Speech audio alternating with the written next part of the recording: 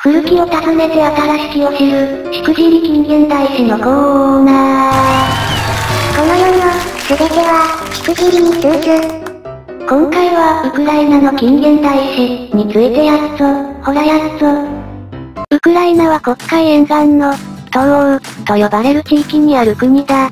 この地域にいつ頃から人類が住み始めたかは不明だが、紀元前3万2000年頃のグラベット文化に区分される遺跡が、クリミア山脈のブランカや洞窟で見つかっている。グラベット文化ヨーロッパで栄えた旧石器時代の総称さ。紀元前3000年期には青銅器文化が発達していったと見られている。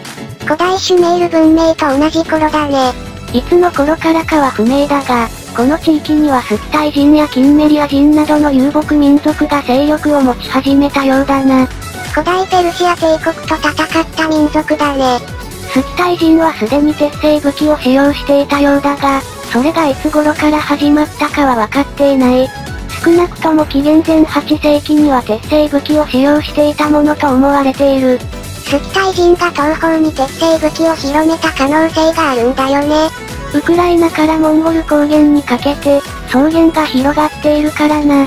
なのでスキタイ族とモンゴル系騎馬民族である郷土族は、同じ民族なのではないかという説もある。詳しくは、郷土の滅亡、を見てね。その真偽は不明だが、ウクライナは騎馬民族など様々な民族の信仰を受けやすい土地であるのは確かだ。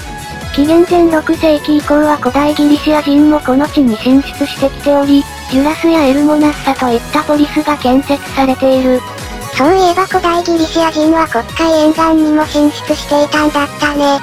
古代ギリシア人であるヘロドトスによれば、その時期にはウクライナの地ではキンメリア人が有力だったということだ。その後、3世紀頃になると、ウクライナの地にはゲルマン人の一派であるゴート族がやってきた。後にイベリア半島やイタリア半島を支配する民族だね。その後はフン族がやってきたためゴート族は精神する必要があったようで、これが4世紀に起きたゲルマン人の大移動を引き起こしたという説が現在のところ有力だな。詳しくは、アッケラ大王を見てね。6世紀から7世紀頃になると、この地にスラブ民族が流れ込んでいったようだ。このうちウクライナに進出した一派は、ロシア人やベラルーシ人と共に東スラブ人と呼ばれる。詳しくは、スラブ民族の大移動を見てね。ここから先のウクライナの歴史はかなりデリケートな問題を含むようになる。もしかして国境的なあれかい？それもあるのだが、もっと根深い問題だ。君はロシアという国の起源を知っているかい？知らないけど、これはロシアという国の起源に関わる大きな問題なのだね。そしてそれが21世紀になっても解決していない国際問題となっている。現在フランスとドイツは別々の国だが、かつてはフランク王国という大きな国だった。もしかしてロシアとウクライナももともと一つの国だったのかい？問題となるのがキエフ公国という国だ。キエフ公国は果たしてロシアなのか、それともウクライナなのか、どちらの歴史に帰属するのか。これが大きな問題になっているんだ。キエフって2022年現在のウクライナの首都の名前だよね。話はだいぶ先に飛ぶが、この点ロシアではキエフ公国はロシアの前身であるという見解を示している。つまりそれって、この部分の話はまた後ですることにしよう。キエフ公国には実に多くの呼び名が存在する。ウクライナルーシ、ルーシ公国、キエフルーシ、キエフ国家。呼び名は歴史観を表すか。あまりにもデリケートな問題なので、各所で呼び名については困っているようだな。現在ではロシアにもウクライナにも配慮のあるキエフ、ルーシ公国という呼び名が一般的なようだ。ではこれからはこの動画ではその名を用いることにしよう。都市国家キエフができたのは6世紀後半のこととされる。ポヤーネ氏族の長の長男の名前である、キーにちなんでキエフと名付けられたそうだ。その後キーはローマ帝国の首都であるコンスタンティノープルに赴き、皇帝に謁見したのだという。ヨーロッパの歴史ではローマ帝国は必ず出てくるね。その後ウクライナは東方騎馬民族国家ハザール帝国の支配を受けたようだ。これまたデリケートな話が来たね。ハザール帝国はユダヤ教に改宗した国だからな。そしてアーサー、ケストラーというハンガリー生まれのユダヤ人が、アスケナジムユダヤ人の祖先はハザール人だと主張したことが、世界的に物議を醸した。歴史とはデリケートな問題を内包しているよな。ハザール人はシルクロード権益で栄えていたと見られており、キエフも交易によって栄えたと見られている。しかし10世紀頃からハザール帝国は衰退し、新たに北欧よりやってきたと見られるノルマン人が力を握るようになった。ノルマン人の大移動だね。東スラブ人がバヤーグと呼ぶ人々が現在のサンクトペテルブルグに要塞を築き、そこからさらに南下していった。そしてバヤーグ人はルーシを自称し、ルーシの主張である有陸が862年にノブゴロド公になったという。そして有陸の部下であったアルコルドとディルの兄弟がキエフを占領したのだという。つまりノルマン人の支配下に入ったわけか。その後有陸が死ぬと息子のイホルが主張となるが、幼かったためにオレフという後見人が置かれた。このオレフがアスコルドとディルの兄弟を倒し、そのままキエフ公に就任したのだという。ほうほう。キエフ公となったオレフはハザール帝国から独立し、勢力を増してローマ帝国の首都であるコンスタンティノープルを襲撃するまでとなる。一気に強くなったね。957年、この国はキリスト教に改宗したという。その際ローマ帝国の首都であるコンスタンティノープルで洗礼を受けたようだ。いわゆるギリシア正教に属するわけだね。ウクライナは現在も正教徒が多い国となっているようだな。詳しくは、キリスト教の東西分裂を見てね。キエフ、ルーシ公国を滅ぼしたのは、東方よりやってきたモンゴル帝国であった。モンゴル帝国による支配は、タタールの首引き、と呼ばれ、200年以上も続くことになる。随分長い間続いたんだねなお、この際ウクライナにあったハーリチ、ボルイニ公国は、モンゴル支配下でも存続できたようだ。滅ぼされなかったのかい？この国はウクライナ側からは最初のウクライナ国家であるとされ、非常に大きな意味を持っている。キエフ、ルーシ公国がロシアであっても、こちらの国はウクライナの独立国家であったというわけか。ロシア側からすればウクライナはロシアの一部であるという歴史観を構築したいのであるが、ウクライナ側はウクライナはもともと独立した国だという歴史観を構築したいのである。そのためにはハーリチ、ボルエニ公国の存在は非常に重要になるわけだね。この国はモンゴル帝国であるキプチャクハン国に侵入し、独立を保っていたようだな。チンギス、ハーンの長男の一族が建てた国だね。長男の名を取ってジョチウルスとも呼ばれるな。しかし1340年頃にこの国はリトアニアとポーランドに併合されてしまうことになる。どちらも中世の大国だね。以降数百年間、ウクライナは独立した国を持つことができなくなってしまう。国を持てない民族というのは、現在でも多い。一民族一国家の原則。フランス革命で打ち出された国民国家という概念は、あらゆる民族に国家が欲しいという願望を植え付けた。そしてそれが多くの争いを生んだわけだ。ハーリチ、ボルエニ公国が滅亡してからの300年間は、ウクライナ史では空白の3世紀、と呼ばれることがある。この間現在のウクライナの地はポーランドとリトアニアによって支配されていたのだ。いわば外国支配を受けていたわけだね。現在から見れば、だけどな。東スラブ人はルーシ人、という呼ばれ方をすることもある。そしてルーシ人はロシア人、ベラルーシ人、そしてウクライナ人の3つに分化したとされる。民族とは難しい概念だな。リトアニア人はウクライナの大半を支配したが、文化的には逆にウクライナの影響を受けた。中華に侵攻した5個が、感化していったのに似ているね。リトアニア人の中にはローマ帝国由来の正教に改宗する者も多く、言ってみればルーシ化していったようだ。一方ポーランド人は西スラブ人に分類され、民族的には東スラブ人に近いが、ローマカトリックを信奉していた。そしてポーランド人はローマカトリックをウクライナの人々に強制したのである。ここでも宗教問題が。この先の東欧の歴史はかなりややこしい。14世紀にはリトアニアとポーランドは連合王国を形成することになる。そして1569年に成立したルブリンの合同によって実質的に一つの国となるのである。ウクライナはどうなったんだい？この国は基本的にはポーランド側の主導だったと言える。ウクライナの支配権はポーランド貴族が握り、ウクライナ人の多くはノードになってしまったようだ。これはなかなか厳しい状況だね中にはローマカトリックに改宗し、貴族になったウクライナ人もいたようだな。そうやって徐々にローマカトリック化させようとしたわけか。それでも多くのウクライナ人は正教徒であり続けたようだな。そこでポーランド支配下のウクライナでは、ユニエイト、と呼ばれる正教とローマカトリックの合同教会が誕生した。合同できるものなのか前例は正教に従うが、ローマ教皇に服従する必要があったようだ。なんだかな一方モンゴル帝国から独立したモスクワ大公国は順調に勢力を伸ばしていた。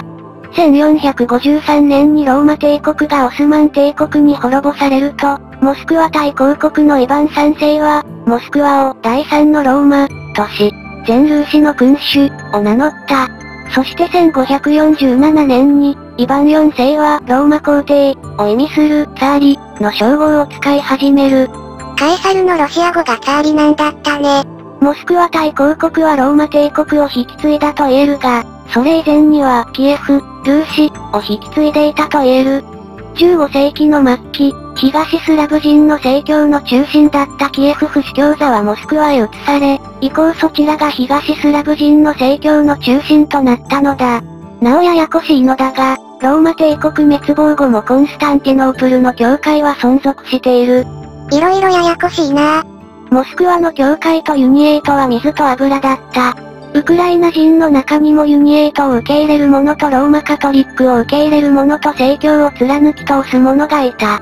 そのような中で起きたのが、ポーランド分割、である。1598年に有陸朝が断絶し、1613年からはロマノフ家のミハイル、ロマノフが、サーリ、を名乗るようになった。ロマノフ朝ロシアの誕生だね。ロマノフ朝ロシア帝国はピョートル大帝の時代に一気に強国化し、次第にポーランドを圧迫していった。そして18世紀になると、プロイセン、オーストリア、そしてロマノフ朝ロシアによって、ポーランド分割が行われるのである。ポーランド分割は3度にわたって行われ、最終的にはポーランドという国が消滅してしまうことになってしまった。今度はポーランドがなくなってしまった。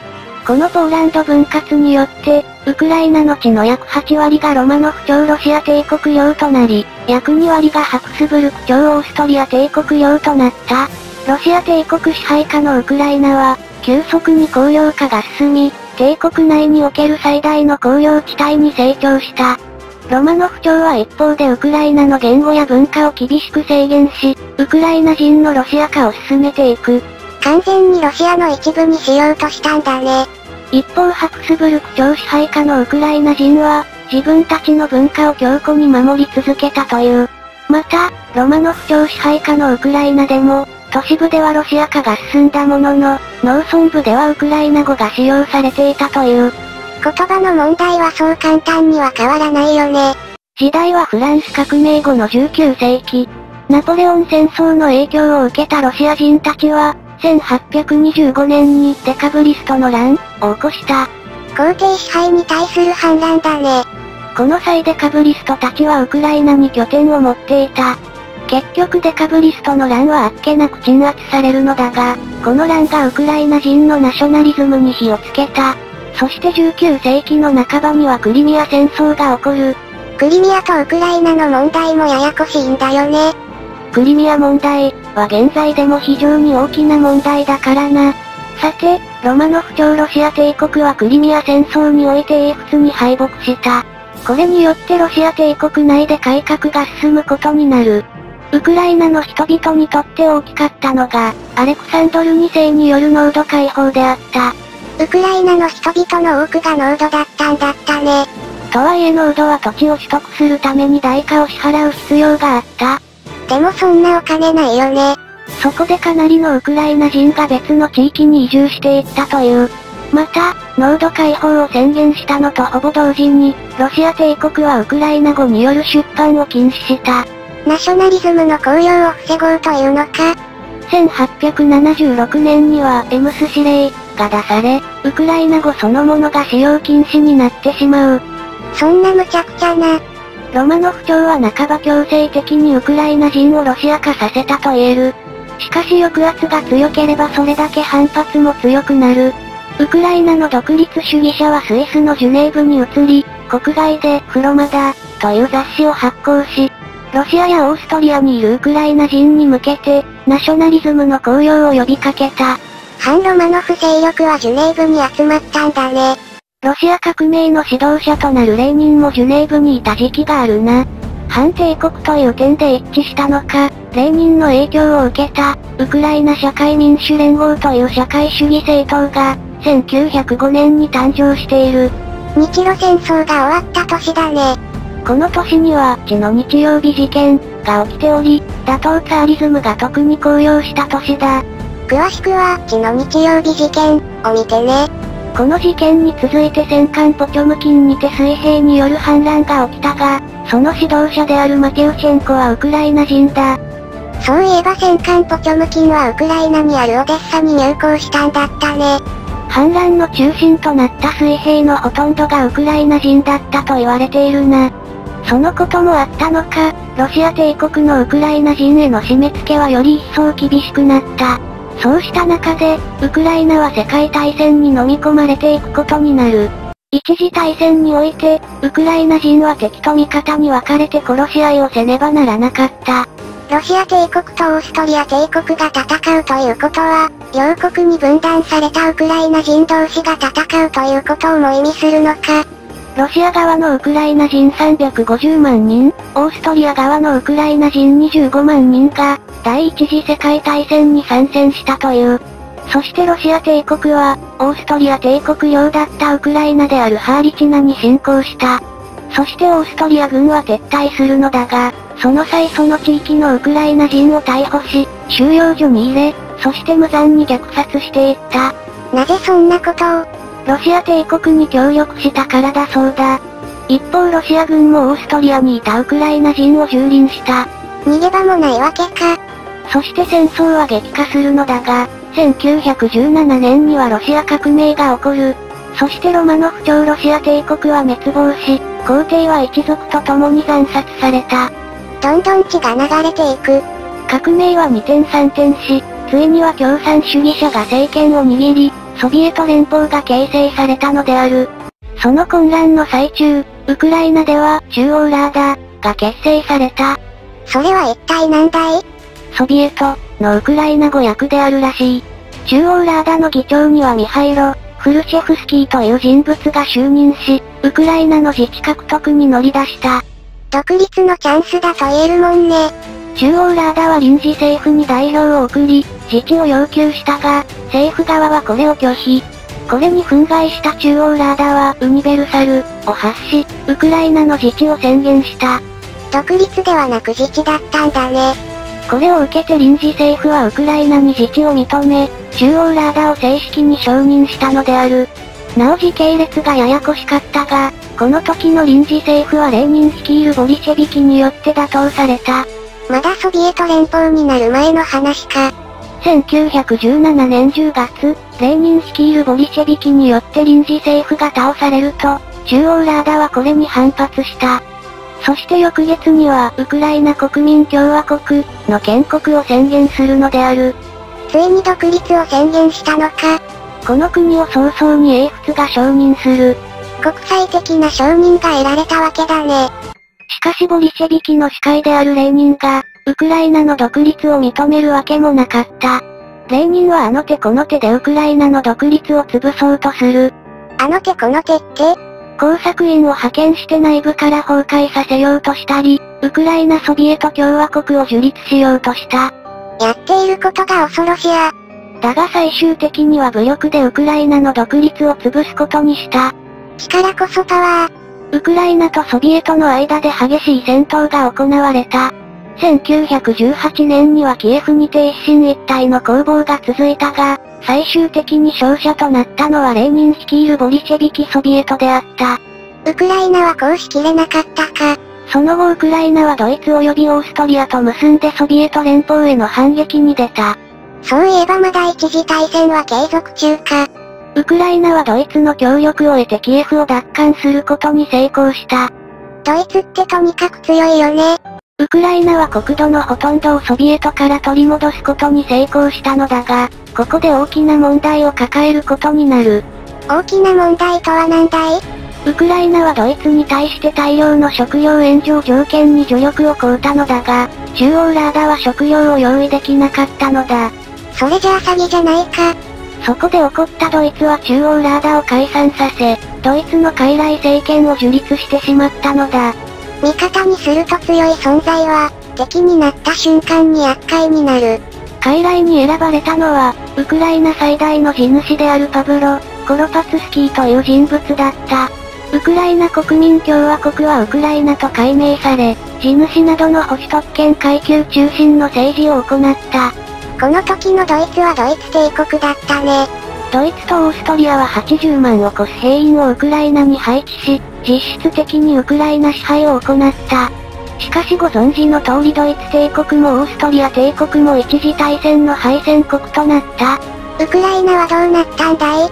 ドイツ軍はウクライナから撤兵し、ウクライナでは旧中央ラーダとウクライナ政府の間で戦争となった。ウクライナ人同士で殺し合いをしたのか？その結果ドイツの傀儡であったスコロパツキーはドイツに亡命し、旧中央ラーダがウクライナ国民共和国を復活させたのである。一方オーストリア領だったウクライナでも混乱は生じた。今のはロシア領だったウクライナの話だね。西部のウクライナでは、ウクライナ国民ラーダーが結成され、西ウクライナ国民共和国の設立が宣言された。こちらも独立したんだ。この政府の敵はポーランドであった。ポーランド？なんで？一次大戦中に起きたドイツ革命の影響で、ポーランドは再び独立を取り戻した。セルビアもそうだったが、どの国も過去の最大半島を取り戻そうとする。それでポーランドはかつての支配地であった西部ウクライナに侵攻したわけか。数百年にも及ぶ支配の中で、多数のポーランド人が西部ウクライナに定住していたしな。ウクライナ国民共和国はポーランド軍の侵攻に耐えきれず、1年とも経ずに消滅してしまう。そしてドイツへの抑止力の観点から、ポーランドの行為を国際社会は黙認した。ウクライナ国民共和国は犠牲になったのだ。西部のウクライナを制圧したポーランド軍は、東部のウクライナにも軍団を進めた。そしてこの時期東部のウクライナに進軍したのはポーランドだけではなく、ルーマニア軍やフランス軍までもが侵攻してきていたのである。四面楚歌とはこのこと？そして最大の敵はソビエトことボリシェビキであった。あらゆる勢力が入り乱れてウクライナの地で争った。正直どの勢力がどの勢力と敵味方同士なのかわからない。結論を言えば、レーニン率いるボリシェビキ、つまりソビエトが最終勝者となった。ウクライナの地はソビエト、ポーランド、ルーマニア、チェコ、スロバキアによって4分割されることとなったのである。独立は歌方と消えたか。ウクライナにとって悲しいのは、この結果が国際的承認を得たことであろう。国際社会って結局力こそパワーだからな。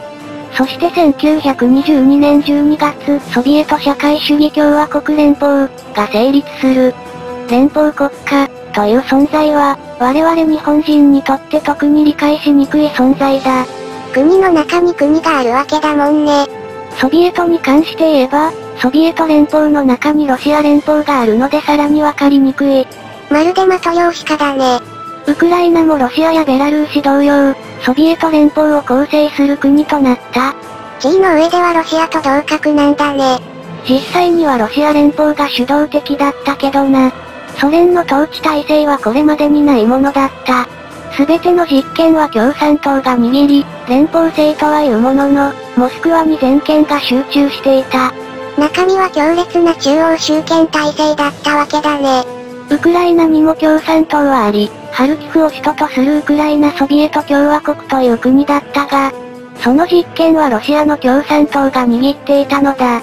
とはいえレーニンが生きている間は、ロシアの共産党に対してもある程度の発言権はあったようだ。問題はレーニンが死んだ後か。レーニンが死んだ後ウクライナは大変なことになるが、そもそもレーニンが生きていた時代からウクライナは大変なことになっていた。ソビエト社会主義共和国連邦が成立する前年、ウクライナでは大規模な飢饉が発生した。ウクライナって世界でも有数の穀倉地帯だよね。内戦に加えて農業の集団化などがあり、ウクライナの穀物生産量は著しく落ちてしまったのだった。人災というやつか。その上で共産党はウクライナにおいて強制的に食料挑発を行い、その食料を本土に送ったのだ。飢餓輸出と言われる状態だね。推定では、この飢饉によって100万人を超える死者が出たと見られている。数が大きすぎて想像すらつかない。ソビエト連邦内では共産党に対する反乱が頻発した。レーニンは新経済政策、通称ネップを導入することで事態の沈静化を図った。早々に共産主義は行き詰まりを見せていたんだね。ネップの元外資が導入され、集団農場も廃止された結果、ウクライナの農業生産量は回復した。そして1924年、レーニンが死んだ。激しい後継者争いの結果、ソ連の実権を握ったのはスターリンだった。ついに来たか。カフカス地方出身のスターリンであったが、その思想は狂信的なモスクワ主義者であった。その上でスターリンはあらゆる犠牲を厭わない人間でもあったのだ。恐ろしいことが始まる。第一次五カ年計画、1928年から始まったこの政策は、世界恐慌の最中にあって、ソ連の工業生産量を飛躍的に伸ばした。中でもウクライナは重点地域で、ソ連全体の約2割の投資がなされている。あれだけ広大なソ連の中でも特別なわけか。製鉄工場やコンビナートなど、最新式の設備が次々と建造された。そしてその過程でウクライナ人は農村から都市部に活発に移住することになる。ウクライナ人は農村にいる人が多かったんだよね。その一方でスターリンは農業の集団化を行った。他の共産主義政権も行うあの政策か。火星は虎よりも猛なり、と講師は言ったが、農業の集団化ほど死亡者を出した政策は歴史上他に存在しなかったかもしれない。スターリンは集団化に反対する者に効率の税を課し、時には処刑したりもした。結果9割を超す農民が集団化するようになる。そして悲劇が起きたわけだね。ホロドモール。それは人類史上最悪の悲劇の名である。計画経済の恐ろしいところは、不作だろうが豊作だろうが、政府による調達量が変わらない点だ。天候などで不作の年があっても、それを考慮しないということか。1930年に2100万トンだったウクライナの穀物生産量は、1931年には1400万トンだった。30%以上も減ってしまったんだね。減少の原因は天災ではなく人災だった。しかしそんなことはスターリンの知ったことではなかった。共産党はウクライナの農家に押し入り、床を壊し、穀物を見つければ押収した。地獄の鬼や悪魔でさえそこまでしないよ。ホロドモールによって、300万人から600万人の人々が餓死したと言われている。開きが大きすぎじゃない？統計が存在していないんだよ。スターリンは自分にとって不利になるような記録はすぐに抹消した。スターリンは恐ろしい男だ。穀倉地帯ウクライナで深刻な飢饉が起こった一方、ロシア本国は一切言えなかった。そしてスターリンは世界に向けて高々と5カ年計画の成功をアピールしたのである。一体どれだけの人間を犠牲にして？スターリンは大粛清を行ったことで有名だが、ウクライナにおける粛清は他の地域よりも早くに行われた。スターリンは飢饉の責任をウクライナの共産党員になすりつけ、多くを処刑した。その数は10万人を超すと言われている。吐き気がしてきた。ウクライナの共産党は壊滅状態となり、名目だけでも存在していた共和国の自治は崩壊した。そして自ら処刑した人員を補充するため、スターリンは中央政府からウクライナに人を派遣したのである。その結果、ススターリンのお気に入りであるフルシチョフがウクライナ共産党の第一書記となる。フルシチョフって後にスターリン批判をする人だよね。ふるさとを踏みにじられても何もできなかったわけだからな。スターリンに従順でいることでしか、生き延びることはできなかったか？スターリンは徐々にウクライナの文化を死滅させていった。ロシア語の教育が必須となり、ウクライナ語そのものがロシア語に近づけられていった。ウクライナ語を廃止すれば反発が大きいから、ウクライナ語そのものをロシア語に近づけていったのか。ウクライナで流通する新聞や雑誌においても、ウクライナ語は徐々に減っていくことになる。ソ連におけるウクライナの文化は、絶滅に向かったのである。といったところで今回の動画は終了だ。続きはまた次回かいそれまでチャンネル登録して待っててくれよな。チャンネル登録していってね。前回は、一次大戦後にウクライナが4つの国によって分割されたところまでを話した。一度は独立したウクライナは再び外国による支配を受け、その大半を占めるソビエト連邦のウクライナでは、ウクライナの文化が失われていったのである。詳しくは、ウクライナの近現代史を見てね。今回は第二次世界大戦時のウクライナの様子から見ていこう。1939年、ドイツのポーランド侵攻により第二次世界大戦が始まった。それより前に結ばれた独ソ不可侵条約により、ポーランドは独ソで分割されることになった。東欧の領土変遷は本当に激しいね。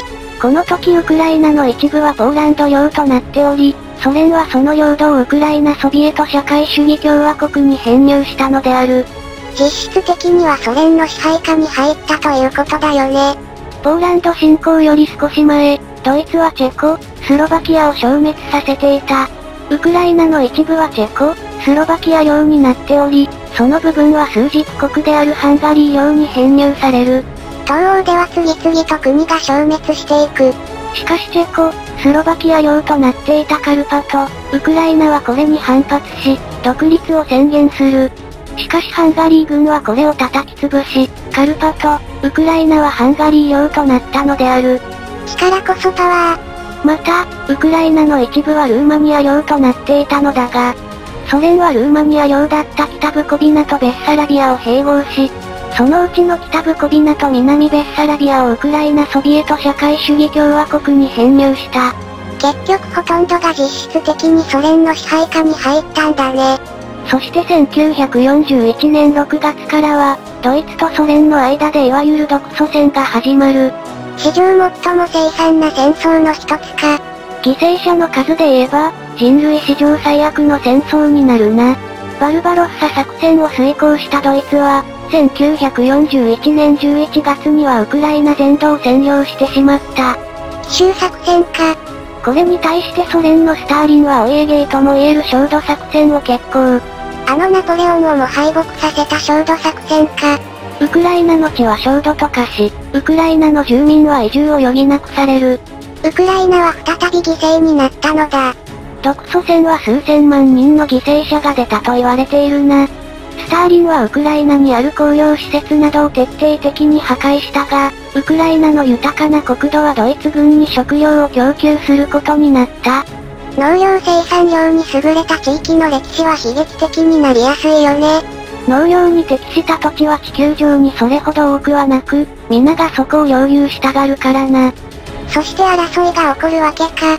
ドイツはウクライナを占領するや、住民をドイツ本国に強制移住させたという。アッシリアや新バビロニアみたいだね。その数は数百万人規模に上り、中でもウクライナに住むユダヤ人は収容所に入れるなどひどい扱いをした。ウクライナにはユダヤ人がたくさん住んでいたんだね。1941年9月にはバービアール事件が起こり、3万4千人のユダヤ人が谷に突き落とされ、一斉に射殺される事件が起きている。人類史上最悪の犯罪。ウクライナに住むユダヤ人だけで、100万人ほどがドイツ第三帝国によって殺害されたと見られている。そこまでする必要が一体どこにあったんだよ。当初ウクライナ人はドイツを歓迎していたという。それはドイツは当初ウクライナの独立を支援する態度を見せていたからだ。当初。ってことは、結局ドイツはウクライナの独立運動を叩き潰し、その利権を独占したんだ。しかしヤロスラフ、ステッコという人物は、それに反発してウクライナの独立を宣言した。その後どうなったんだい？ドイツの秘密警察によって逮捕されたよ。ウクライナ人の中には反ドイツ感情を持つ者が増えていき、他の地域同様パルチザン闘争が激化した。その数は最終的には10万人以上となり、ドイツはもちろんソ連とも戦ったという。最終目標は独立だからか。ウクライナを舞台にドイツ第三帝国、ソビエト連邦、そしてウクライナ独立勢力が泥沼の構想を繰り広げたと言える。1943年1月に起きたスターリングラードの戦い以降、独ソ戦の流れは変わった。ソ連側が有利になったんだよね。1943年11月、ソ連はキエフを占領し、1944年にはウクライナにいるドイツ軍を全滅させた。まずはドイツが脱落か。1945年2月、クリミア半島にてかの有名なヤルタ会談が開かれた。この会議は我々日本人にとっては日本の行く末を決めた会議として有名だが、ウクライナの運命もまた決した会議だったのである。どうなったんだい？スターリンにとって重要だったのは、ポーランド国境の確定であった。ポーランドの国境を二次大戦時に戻すかどうかが問題だったのだね。結論から言えば、二次大戦前にポーランド領だったウクライナは、ウクライナに編入することになった。つまり実質的にソ連の支配下に入ったわけか。ヤルタ会談におけるウクライナ問題は、おおむねスターリンの有利に進んだ。最終的にはウクライナとベラルーシが国連に加入することになる。ソ連が両国を実質的に支配しているから、ソ連が国連に与える影響も大きくなったわけか。アメリカ大統領ルーズベルトはこれに反発したが、イギリス首相チャーチルは英連邦加盟国の国連加盟を狙っており、スターリンに賛同した。外交は武器を持たない戦争。一方ルーズベルトもソ連の対日参戦を希望しており、結局スターリンの要求はほぼ通ることになる。ウクライナはまたも国際社会から見捨てられたわけか。ウクライナは建前上は独立した国ではあったからな。スターリンはこういうのがうまいよね。狡猾、という言葉がこれ以上に合う人物はいないよ。第二次世界大戦におけるウクライナ人の死亡者数は500万人を超えたという。それ以前のウクライナの人口は3000万人ほどであったそうだ。6人に1人が亡くなってしまったのか。その上でウクライナの地は焦土になってしまっていた。第二次世界大戦で最も被害の大きかった地域は、ウクライナであったとさえ言われているな。失ったものは大きいのに、新たに得たものは何もないのか。いや、ウクライナは実質的な独立はできなかったが、ウクライナ自体の範囲はかなり広がった。ソ連が戦勝国となった影響で、数軸側の国の領土が大幅にウクライナに編入されることになったのだ。その結果約16万平方キロメートルもの広大な領地が新たにウクライナ領となった。北海道2つ分近く広くなったのか。一次大戦後に4分割されていた土地は、二次大戦によって全てウクライナ領となった。そして何らかの理由で世界各国に散らばったウクライナ人も、ウクライナに続々と戻ってきた。ドイツに強制移住させられた人もいたしね。そしてその人々は、片っ端から処刑された。な、なぜじゃー。答えは一つ。スターリンがそれを望んだからだ。一体何人殺せば気が済むんだよ。運よく処刑を免れた者も、シベリアや中央アジアの強制収容所に収容されたようだな。その数は数十万人の規模になるそうだ。数字が大きすぎてまるで現実感がない。この際、多くの国外にいたウクライナ人がアメリカなどへ移住していったという。危機一髪なんてレベルじゃないね。ほんの少しのタイミングの違いで生死が分かれたわけだからな。二次大戦が終わり、ウクライナからドイツが駆逐されたが、まだウクライナの独立勢力とソ連の戦いは続いているからな。そういえばそうだった。スターリンが恐れたのは、独立主義者と国外の勢力が結びつくことであった。だから殺したり収容所に入れたりしたのか。スターリンは疑わしきは全て黒にする男だ。独立派が隠れているとおぼしき村があれば、向こうの村人ごと村民全員を流刑にしたりした。人の心ってなんだろう。時には独立派の格好をソ連兵にさせて、村々を襲わせたこともあるようだな。国民を守るのがトップの役目じゃないのか。ウクライナの悲劇的だった点は、国際社会からの助けが一切なかったことだ。1950年3月、独立勢力の指導者であった紙幣ビチの死によって、ウクライナ独立勢力は壊滅した。ウクライナは何度でも犠牲になったのだ。スターリンはまるで油断のない男だ。ウクライナ国内はもちろん、国外の独立勢力も KGB を使って始末させた。地球上のどこにいても逃げ場がないのか。しかし1953年、ウクライナに転機が訪れる。スターリンが死に、ウクライナ出身のニキータ、フルシチョフがソ連の実権を握ったのだ。これはウクライナには朗報だね。なおちょっとややこしいのだが、フルシチョフはウクライナ出身だがウクライナ人というわけではない。ソ連国内で有数の工業地帯であったウクライナには、各地から様々な人々が集まってきていたのだ。ソ連の人々のアイデンティティは複雑そうだね。それでもフルシチョフにとってウクライナが大事なふるさとであったのは確かだ。フルシチョフはウクライナ共産党にウクライナ人であるキリシェンコを任命し、養殖には軒並みウクライナ人を起用した。スターリンの時代とは大違いだね。それどころかソ連共産党の幹部にもウクライナ人を多数起用したぐらいだ。また、フルシチョフはクリミア半島の貴族権をロシアからウクライナに移している。ここも色々と揉めているやつだね。しかし1964年にフルシチョフは失脚し、新たにブレジネフがソ連の実権を握った。ブレジネフはウクライナ生まれのロシア人だった。ウクライナに住んでいたロシア人もいたんだね。ブレジネフはフルシチョフと違い、ソ連領内の民族主義を危険視していた。ロシア主義者とでも言うべきか。スターリンほど極端ではないがな。ブレジネフはウクライナ語の使用を禁止こそしなかったものの、巧妙にそれを妨害していく。その結果ウクライナ語の観光物は激減してしまったのだ。言語は民族を構成する最重要要素だからね。ブレジネフ時代には、すでにソビエト連邦には陰りが見えていた。経済は停滞し、慢性的なエネルギー不足を起こすようになる。そこで導入されたのが原子力発電所だ。ウクライナ、原子力発電所、う、頭が。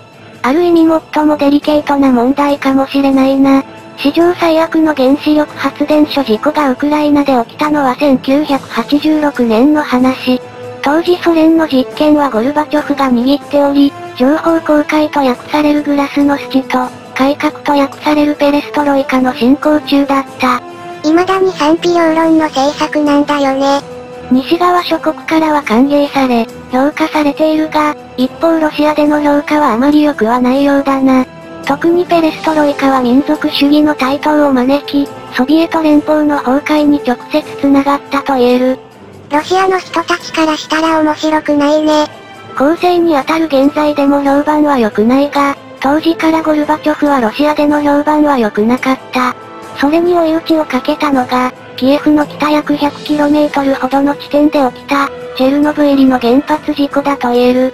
2022年現在では史上最悪のメルトダウンと言われ、甚大な被害をもたらした。しかしソ連は当初この事故を隠蔽していたのだ。隠蔽体質実はウクライナはチェルノブイリ事故以前から環境汚染が深刻な地域で、住民の健康被害が多い地域となっていた。これはソビエト連邦による生産市場主義の結果であると言える。どこまでも犠牲になり続けたのだ。一方でゴルバチョフは情報公開と訳されるグラスのスチを進め、ウクライナでは民族主義が高揚していくことになった。1989年にはウクライナ語が国語となり、ウクライナの歴史の再評価や文化的復興が次々となされることになる。自国の言葉が国語、じゃなかったって異常だな。長らく禁止されていた統一教会ユニエイトも、ローマ教皇の後押しで合法化され、ウクライナ文化は息を吹き返していく。ユニエイトは正教の典礼を中心に、組織としてはローマ教会言葉機関に属するんだったね。一方でウクライナ正教会は、1991年にはロシア正教会から完全な独立を果たすことになる。そしてソ連の崩壊が間近に迫るにつれ、ウクライナの中で再び独立を目指す動きが出てくる。独立への渇望はずっとあったんだろうねただ全てのウクライナ人が独立を求めていたわけではなく、中にはソビエト連邦の構成国家としての地位を保持したいと考える人もいた。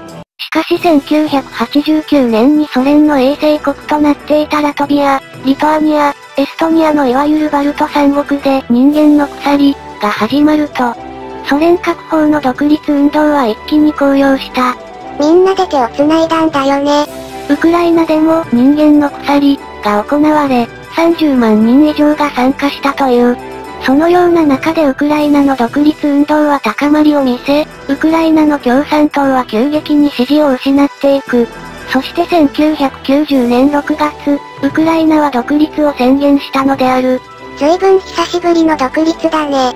でも、まだソビエト連邦という国はあるんでしょう？ウクライナは独立をするが、当初ソビエト連邦内に留まるかどうかでかなり意見が割れたようだ。しかしご存知の通り1991年12月にソビエト社会主義共和国連邦という国は消滅してしまった。ウクライナはどうなったんだい？ウクライナとして独立し、最高会議と訳されるベルホブナ、ラーダが実権を握った。なんか突然出てきた感があるね。ソ連が崩壊する少し前の1990年3月、総選挙が行われ、共産党は大きく議席を落としたんだ。その結果、ロシア及びソ連共産党からのコントロールが効かなくなり、ウクライナの国会とも言える最高会議が実権を握ったわけさ。ウクライナは国旗、国家、国章を定め、かつての中央ラーダーを復活させていったと言える。かつての独立を復活させたんだね。1991年12月、ウクライナで完全独立を問う国民投票が行われ、9割を超す賛成を得てウクライナは正式に独立を達成することになる。初代大統領にはレオニード、クラチェフが就任し、ロシアのエルツィンやベラルーシのシュシケビチとベロベーシの森にて会談を行った。その結果、旧ソ連の各方は独立国家共同体、通称 CIS を結成することに合意した。CIS とは何だい？イギリスのコモンウェルスに近い形と言われる。イギリスとオーストラリア、ニュージーランドなどに近い関係ということだね。定義としてはそうなるだろうな。CIS の結成により、正式にソビエト連邦は消滅したと言われている。背後にはソ連のゴルバチョフとロシアのエルツィンの権力闘争があり、ロシアのエルツィンが勝った形となる。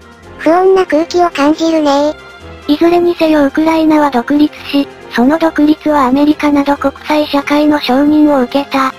国家解体による独立。ウクライナは非常に珍しい形で独立した。戦争も革命も経ずに独立したわけだからねこの時点でウクライナの国土面積はロシアに次いでヨーロッパ第2位。しかしご存知のように、独立後のウクライナは順風満帆というわけにはいかなかった。色々とニュースになっている回数も多いよね革命も戦争も経ていないということは、かつての権益者がそのまま権益を持ち続けるということでもある。そしてそれは同時に、ウクライナの中に新ロシア派と反ロシア派を生み出す素地になったと言えるのだ。内部での対立が始まったということか。独立後初代大統領となったクラチェフは、反ロシア政策を推進し、ウクライナの民族主義を高揚させた。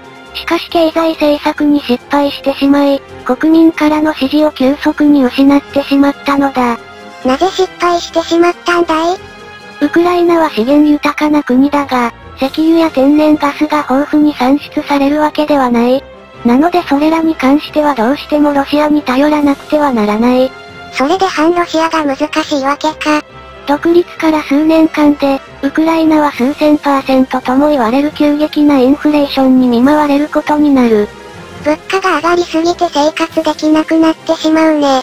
反政府銀行とも言える存在がデフォルトを起こし、経済は破綻してしまった。ウクライナの経済は、ロシアへの依存なしに成立しない状態となってしまったのだ。それで新ロシア派が台頭したのかい？すぐにそうなったわけではない。次に大統領となったクチマは、ロシアの影響力を排除し、アメリカなどとの親密路線を探った。結果は？一言で言うのはちょっと難しい。就任直後はアメリカや EU などからの支援も取り付け、順調であったと言える。しかしそれによって台頭した新興財閥との癒着が激しくなり、また強権化していったことで国民の支持を徐々に失っていってしまった。これは経済的に成長する国ではよくあることだね。さらに2000年に起きたジャーナリスト殺害事件に口間大統領が関与しているという疑いがかかると、各方面からの支持は急速に冷え込んでいく。口間大統領に対しアメリカや EU は批判的になり、その結果口間はロシアに近寄っていったのだ。そういう流れだったのか。そして2004年の大統領選挙を契機に起こったのがオレンジ革命であった。2004年は東欧において激動の年だったと言える。5月にはポーランドやスロバキアなど東欧8カ国が EU に加盟し、ウクライナは直接 EU と接することになった。EU の範囲がかなり広がったんだね。ウクライナ人の中には EU への加盟を望む者も多くなった。そして11月、ウクライナの大統領選が開票となったのである。この年の大統領選は、親ロシア派のヤヌコービチと、反ロシア派のユシチェンコの一騎打ちとなった。結果は？親ロシア派のヤヌコービチが当選した。しかし反ロシア派は選挙に不正があったと主張し、ジェネラルストライキを起こすなど抗議行動に出た。この結果は EU やアメリカなどでは好意的に報道された一方、ロシアではヤヌコービチに好意的な報道をした。世論とはこのように形成される。東西冷戦は終結したが、過去は現在、そして未来と一続きだ。旧西側陣営に押される形で再度大統領選が行われた結果、今度は反ロシア派のユシチェンコが当選した。麻薬の結果が出たわけか。結果はユシチェンコ52%、ヤヌコービチ44%と非常に僅差だったようだがな。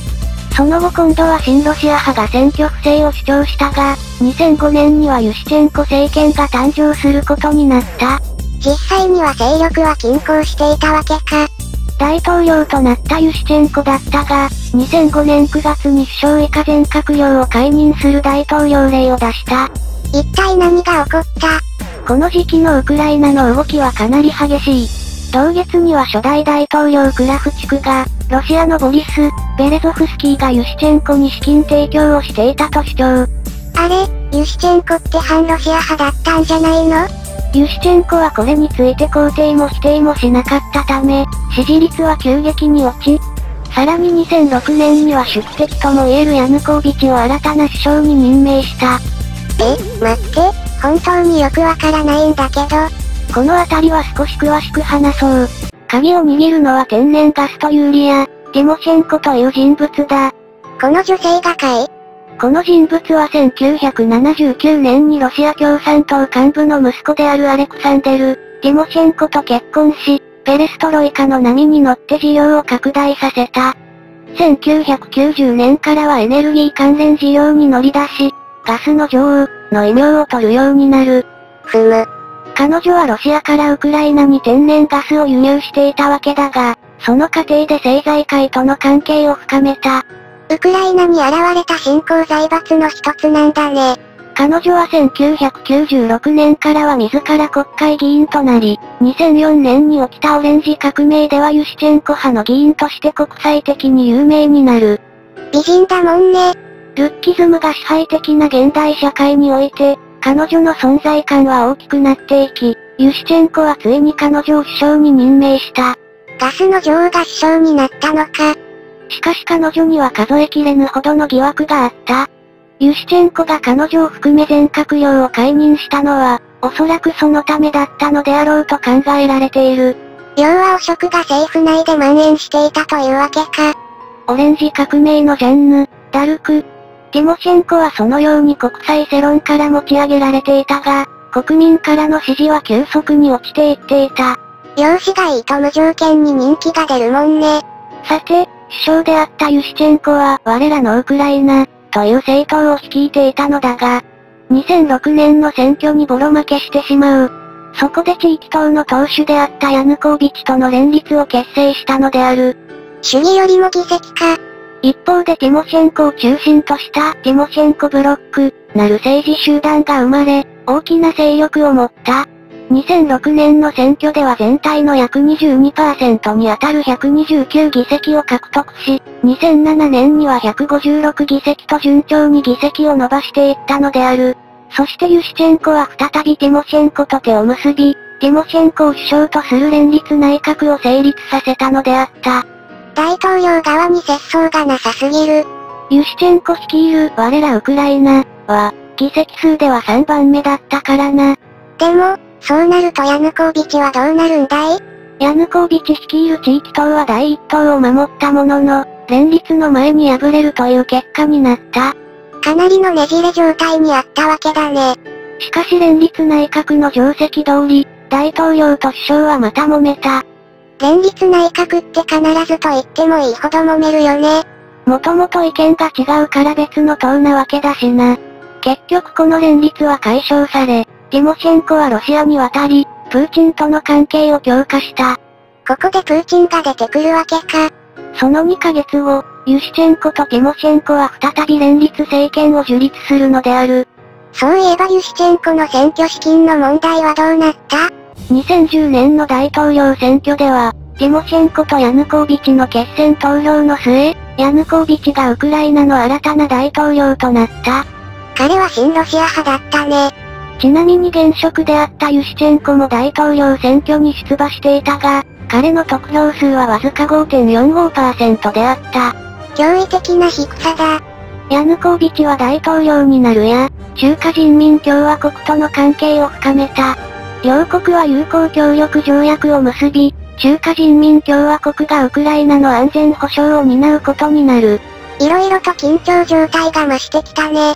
一方でヤヌーコビチは EU 加盟を拒否し、EU 派とも言うべき勢力から強い反発を受けた。イギリスもそうだけど、欧州の国は EU 問題でかなり国内が割れているね。ウクライナにおいてこの問題は、大規模な反政府運動にまで発展した。2014年、ウクライナの首都キエフで大規模な反政府デモが行われたのである。そんなに大規模だったのかい？数十万人規模の参加者がいたと見られている。それだけの人間が政府に不満を持っていたのか。ヤヌコービチは機動隊を投入し、100人近い数の死者を出してしまう。このことに国民の怒りは頂点に達し、ヤヌコービチはロシアに亡命を余儀なくされた。ロシアに逃げ込むのかロシア側はヤヌーコビチ政権の崩壊をクーデターによるものと認定し、ウクライナへの軍事介入を行った。ウクライナに再び外国の軍隊が進駐するのか。さて、ここで一旦クリミア半島の話をしよう。クリミアはウクライナに編入されたんだったね。1992年5月、クリミアはウクライナから独立し、クリミア共和国の樹立を宣言している。それに対しウクライナ議会は即座に独立の無効を決議。しかしこれに対しロシアはフルシチョフによるクリミアのウクライナ移管は無効とし、クリミアの独立を支持したのである。色々とややこしいなしかし1994年にロシアがチェチェン共和国の独立を潰すと国際批判が高まり、クリミア独立運動は下火になる。詳しくは、チェチェン共和国の近現代史を見てね。結果クリミアはウクライナ国内の自治共和国であるという立場になった。そして2014年にウクライナで起きた混乱に乗じてロシアがクリミアに進駐し、そのままクリミアをロシアに編入してしまったのである。やっていることが無茶苦茶すぎる。なおこの時クリミアの検事総長になったのがナタリア・ポクロンスカヤだ。また美人だ。美人は美人であるというだけで全てが正当化されるからな。世の中は残酷だ。実際彼女の顔を見たことがある人は大勢いるが、彼女が何者かを知っている人はほとんどいないだろう。彼女は何者だい？もともとウクライナで検事をしていたが、この時両親の住むクリミアに移住していた。一方この時のクリミアの検事総長はウクライナに忠実な人物だったため、ロシアに排除されてしまったのだ。そしてポクロンスカヤが検事総長に据えられたわけか。この人事に関してはウクライナとロシアは真っ向から対立し、ウクライナは彼女を指名手配したほどだ。一方ポクロンスカヤはロシアに対して反抗的な勢力を次々と告発していった。この人は恐ろしやな人だったんだな。彼女はロシアのクリミア併合に反対する住民をウクライナに強制送還すると宣言したぐらいだ。親ロシア派の筆頭なわけだね。一方ウクライナ本土では、ヤヌーコビチ政権の崩壊に伴い、プルチノフが大統領代行となった。どちら様ですか？チェモシェンコブロックに属していた人物さ。チェモシェンコは大統領にならなかったんだね。彼女は病気療養中だったようだな。だから、大統領代行、なのか？2014年には大統領選挙が行われ、ティモシェンコは得票数14%で54%を獲得したポロシェンコに大敗した。人気がなさすぎる。話が先に進んでしまったが、ヤヌコービチが国外逃亡した後、各地で親ロシア派と反ロシア派の闘争が起こった。ウクライナは混乱状態に陥り、そのような中でポロシェンコが大統領となる。一体何者だい？オルガリヒ。旧祖国家で生まれた新興富裕層をそう呼ぶが、ポロシェンコはまさにその代表であると言ってよいだろう。彼はロシェンというお菓子メーカーの代表で、チョコレート王の異名を持つ。お菓子、お菓子。もともとヤヌコービチ率いる新ロシア政党、地域党の結成に関わっており、ウクライナ国立銀行の理事長などを務めている。ポロシェンコはロシアとの間にミンスク議定書を交わし、混乱の収拾を図ったのだが、結局戦闘は継続され、混乱は続くことになってしまう。一体何がどうなっているんだ？ウクライナ国内にあるドネツク州とルハンシク州がウクライナからの独立を求めたのだが、背後にロシアがいたと見る人も多い。かなりデリケートな部分だね。現在に近くなればなるほど語るのは難しくなるんだよ。クリミアの例でわかるように、ロシア側はウクライナから分離独立をする地域を増やし、自国に編入することを画策している節がある。それで独立運動を焚きつけているのか。ドネツク州やルハンシク州は通称、ドンバス、とも呼ばれることから、ドンバス戦争、とも呼ばれているな。まるで過去の話のように語っているが、2022年2月現在でも紛争中だ。もしかして今現在問題になっているのはこの地域の問題なのかい？動画を作成してから公開するまで数日のタイムラグがあるが、この問題は現在世界を揺るがしかねない問題となっている。何せこの問題はウクライナとロシアの問題であることはもちろん、アメリカとロシアの問題でもある。なぜアメリカが、2019年の大統領選により、ゼレンスキーという人物が新たにウクライナの大統領となった。ゼレンスキーはアメリカとの関係を深め、アメリカのバイデン大統領はウクライナへの支援を公言しているのだ。また、ゼレンスキーはクリミアを再びウクライナに戻すことに意欲的で、ロシア側との緊張状態が続いている。ウクライナはまるで国際関係の火薬庫じゃないか。話は前回の動画の冒頭に戻るが、2021年7月にロシアのプーチン大統領は、ロシア人とウクライナ人はもともと一つの民族であったと公に主張した。それって、といったところで今回の動画は終了だ。チャンネル登録して、次の動画も見てくれよな。チャンネル登録していってね。国際的承認。これは世界史、そして現代社会を読み解く上で非常に重要な概念だ。国際的承認、とは何だい？ある国の成立を国際社会が承認すること。言葉の定義を言えばそうなるだろう。だが一歩踏み込んで、国際社会、とは何だろう。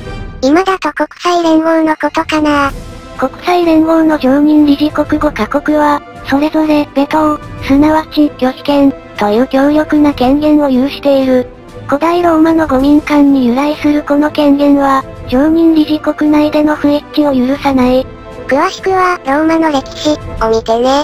2022年2月現在起きているウクライナ問題は、国際的承認の問題であり、常任理事国内の不一致の問題でもある。今回はそういった観点から、ウクライナ問題とドネツク人民共和国及びノボロシア人民共和国連邦を見ていこう。うむ、見ていこう。2014年5月、ドネツク人民共和国は独立を宣言した。しかし2022年2月現在、国際的承認は得ていない。ドネツク共和国は、ウクライナからの独立を宣言したわけだね。ウクライナ側はドネツク共和国の独立に対し猛反発しているが、一方のロシア連邦は2022年2月にドネツク共和国を承認した。ドネツク共和国をめぐって、ロシアとウクライナが正面から対立しているわけだ。そしてその対立は、ロシアとアメリカ、ひいては旧東側陣営と旧西側陣営の対立をも意味するようになっている。どうしてドネツク共和国は独立をしようとしたんだい？まずはそこから触れていく必要があるな。ウクライナではもともと東西で対立があった。ウクライナの歴史は非常に複雑で、東部はロシア帝国やソビエト連邦の、西部はポーランドやオーストリア帝国の支配下にあったこともある。詳しくは、ウクライナの近現代史を見てね。2010年、ドネツク出身のヤヌコビチがウクライナの大統領となった。しかし2014年にヤヌコビチ政権は転覆させられることになる。反政府暴動が起きたんだっけ？ヤヌコビチの母親はロシア人であるようで、それもあるのか？ヤヌコビチは親ロシア派だった。しかしウクライナにおける反ロシア感情は強く、反ロシア派が暴動を起こした形だ。親ロシアと反ロシアでウクライナは真っ二つに分断されてしまったわけだね。歴史的な経緯もあって、ウクライナにはロシア人も多く住んでいるしな。特にロシアにほど近いドネツク州とルハンシク州はロシア人の割合が多い。そして2014年5月に、ルガンスク人民共和国とドネツク人民共和国が独立を宣言したわけだ。ほぼ同時に独立を宣言したのか。両国は相互承認し、ノボロシア人民共和国連邦を発足させた。ウクライナはその存在を認めず、ついにはドンバス戦争が起きてしまったわけだ。詳しくは、ウクライナの現代史を見てね。なおドンバス戦争が起こる直前の2014年2月に、いわゆるクリミア危機が起こっている。色々とすごい状態になっているね。クリミア、ドネツク、ルガンスク。いずれもロシア人が多く住む土地だ。そしてこれらの地域とクリミア問題をどう扱うかは非常に難しい問題だと言える。文字通りの国際問題だね。事実だけを言えば、ロシアのプーチン大統領はクリミアの独立を承認し、クリミア共和国をロシア連邦構成主体のクリミア連邦管区とし、自国に編入した。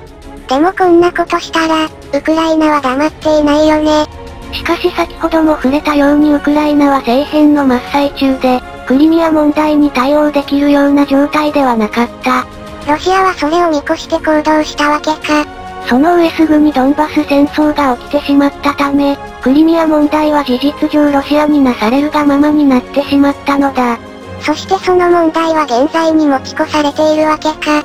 相手国の混乱に乗じて領土を実行支配するやり方は、伝統芸と言えるかもしれないな。あれだけ領土があるのに、話をドネツク共和国に戻そう。ロシアにほど近いドネツクとルハンシクはドンバスと総称されている。だから、ドンバス戦争、なわけか。ドンバス戦争は、ドネツク人民共和国の建国とともに始まった。2014年4月7日、新ロシア勢力がドネツク人民共和国の建国を宣言。独立宣言とは少し時差があるんだね。独立宣言を出すのは約1ヶ月後だな。なおクリミア問題発生からドネツク共和国の建国宣言まで、約1ヶ月強の話だ。そしてルガンスク人民共和国が建国を宣言するのはその約20日後。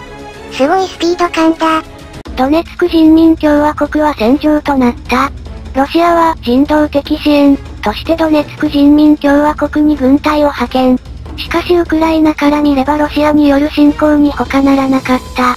これはとんでもないことになったね2014年9月、関係各所の間でミンスク議定書が交わされ、停戦となったのだが、この協定はほぼ守られることはなく、軍事衝突が頻繁に起こることになる。まさに泥沼。結局2015年1月からはドネツク全域が戦場となり、2月にミンスク2が結ばれるものの、結局すぐに戦闘は再開された。出口がまるで見えない。ドンバス戦争は2022年2月現在でも継続中の戦争だからな。これまで30回近い停戦が行われたが、停戦合意後すぐに戦闘が始まるんだ。どうやったらこの地域は平和になるんだろう。一方ウクライナでは、2014年2月のウクライナ騒乱を受けて、プルチノフが大統領を代行することになった。そやつは何者だい？ウクライナの秘密警察である保安庁の長官だった人物さ。秘密警察のトップだった人物が国のトップになったのか。東欧ではよくあること。と言ってもプルチノフは保安庁の生え抜きというわけではなく、もともとはティモシェンコブロックの出身だがな。ティモシェンコブロックってなんだっけ？ガスの女王、と呼ばれたオルガリヒの一人、ユーリア、ティモシェンコを中心とした政治団体のことさ。オルガリヒというのは新興富裕層のことだね。ドンバス戦争はプルチノフの代行時代に起こったことになる。プルチノフは文字通り代行、で、2014年6月にはポロシェンコがウクライナの大統領となった。お菓子の人だー。ポロシェンコは、チョコレート王、とも呼ばれるオルガリヒの一人だ。ウクライナでも有数の資産家で、10億ドルを超える資産を保有し、テレビ局や自動車産業などを傘下に持っている。ビリオネアというやつだね。ポロシェンコは2005年からウクライナの大統領だったユシチェンコの側近中の側近だった人物で、オレンジ革命を財政面で支えたとも言われる。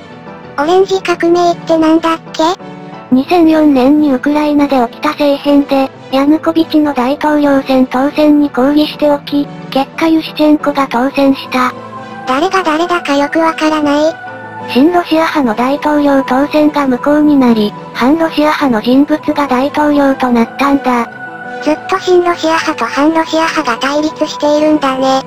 ウクライナは独立当初、脱ロシアを目指していた。しかしウクライナは農業や工業には豊富な資源があっても、石油などのエネルギーはロシアに依存していたため、経済的にとんでもない状態に陥ったことがある。民族の問題とは別に、ウクライナ人の中でも親ロシアと反ロシア派がいるわけだね。ロシアは世界でもトップクラスの産油国だからな。また、天然ガスも豊富で、ドイツなど欧州の国の中にはロシアからエネルギー供給を受けている国もある。だからウクライナ問題でドイツが打撃を受けるかもしれないという話になるのか。戦争になれば西側の国はロシアに対し経済制裁を行うことが予想されているからな。そうなるとドイツはロシアから天然ガスの輸入ができなくなる。ドイツは脱原発を推進していて、天然ガスなどのエネルギーに依存しているため、危機的な状況になるかもしれない。話がどんどん大きくなっていくな脱原発、脱炭素を推進すると、天然ガスの需要は高まるからな。ウクライナ問題はもう、ウクライナとロシアだけの問題じゃないのか。ポロシェンコの次の大統領となった、ゼレンスキーが急速にアメリカ合衆国に接近したからな。なぜアメリカがシャシャリ出てきたのか謎だった。本来ウクライナとロシアの問題に、アメリカ合衆国は何の関係もない。なのにどうして？アメリカは2014年以降、ウクライナに対して10億ドルを超える軍事支援をしてきた。クリミア危機やドンバス戦争が起きた年だね。反ロシア派が欧米に接近するのは、自然な流れだったと言えるかもしれない。その流れの中で、ウクライナは EU 及び NATO 加盟を目指す方針を打ち出したのだ。NATO って軍事同盟だったよね North Atlantic Treaty Organization。いわゆる北大西洋条約機構は、ソ連を中心とした共産主義権に対抗するために結成された軍事同盟だ。なのにソ連が崩壊した後も残っているのか。NATO は集団的自衛権の行使を目的として表明しており、公式に反響を掲げたわけではないからな。実質的に反響だったけど、それを公言したわけではなかったのか。NATO 結成の根拠は国際連合憲章第51条だったからな。その解釈をめぐって色々あるやつか。一方1955年には、ソ連を中心とした軍事同盟、ワルシャワ条約機構が結成され、冷戦は本格化していったわけだ。こちらは1991年7月に消滅している。でも NATO は残り続けた。そして亡霊のようにその存在が大きな国際問題として復活してきたわけだ。さて、NATO の大元とも言える北大西洋条約には、次のような内容がある。いずれの加盟国に対する攻撃も、全加盟国に対する攻撃とみなす。もしウクライナが NATO に加盟したら、ドンバス戦争における軍事行動を、NATO 加盟国への攻撃とみなすだろうな。最悪な展開になるね。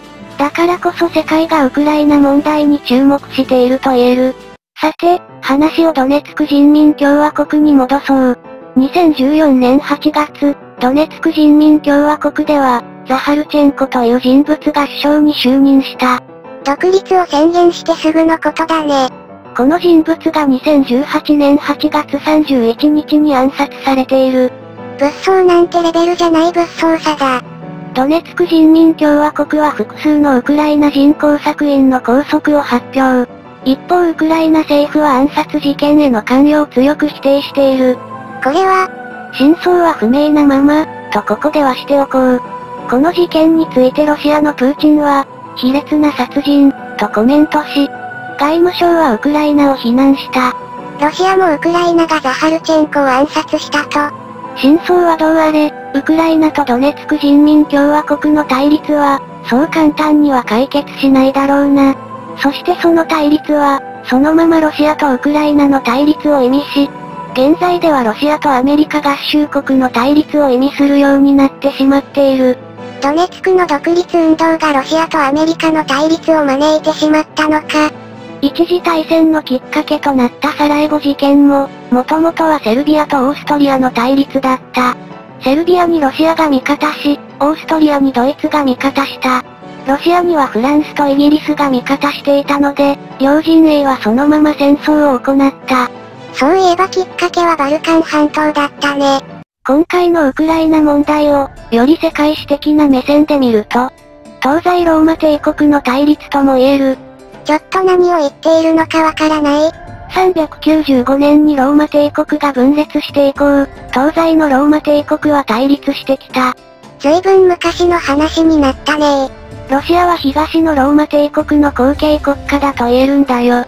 モスクワは第3のローマである。これは16世紀のロシアの歴史観だった。第3ということは、第2もあるのかい？コンスタンティノープルのことだ。ロシアはビザンツ帝国とも呼ばれる東ローマ帝国の全てを継いだ後継国家だ。だから、正教、お次、皇帝の名称であるカエサル、を継いだ。カエサルはロシア語で、サーリ、だね。一方、カールの体感、によって、フランク王国は西ローマ皇帝、を授けられた。フランク王国はその後ドイツとフランスになった。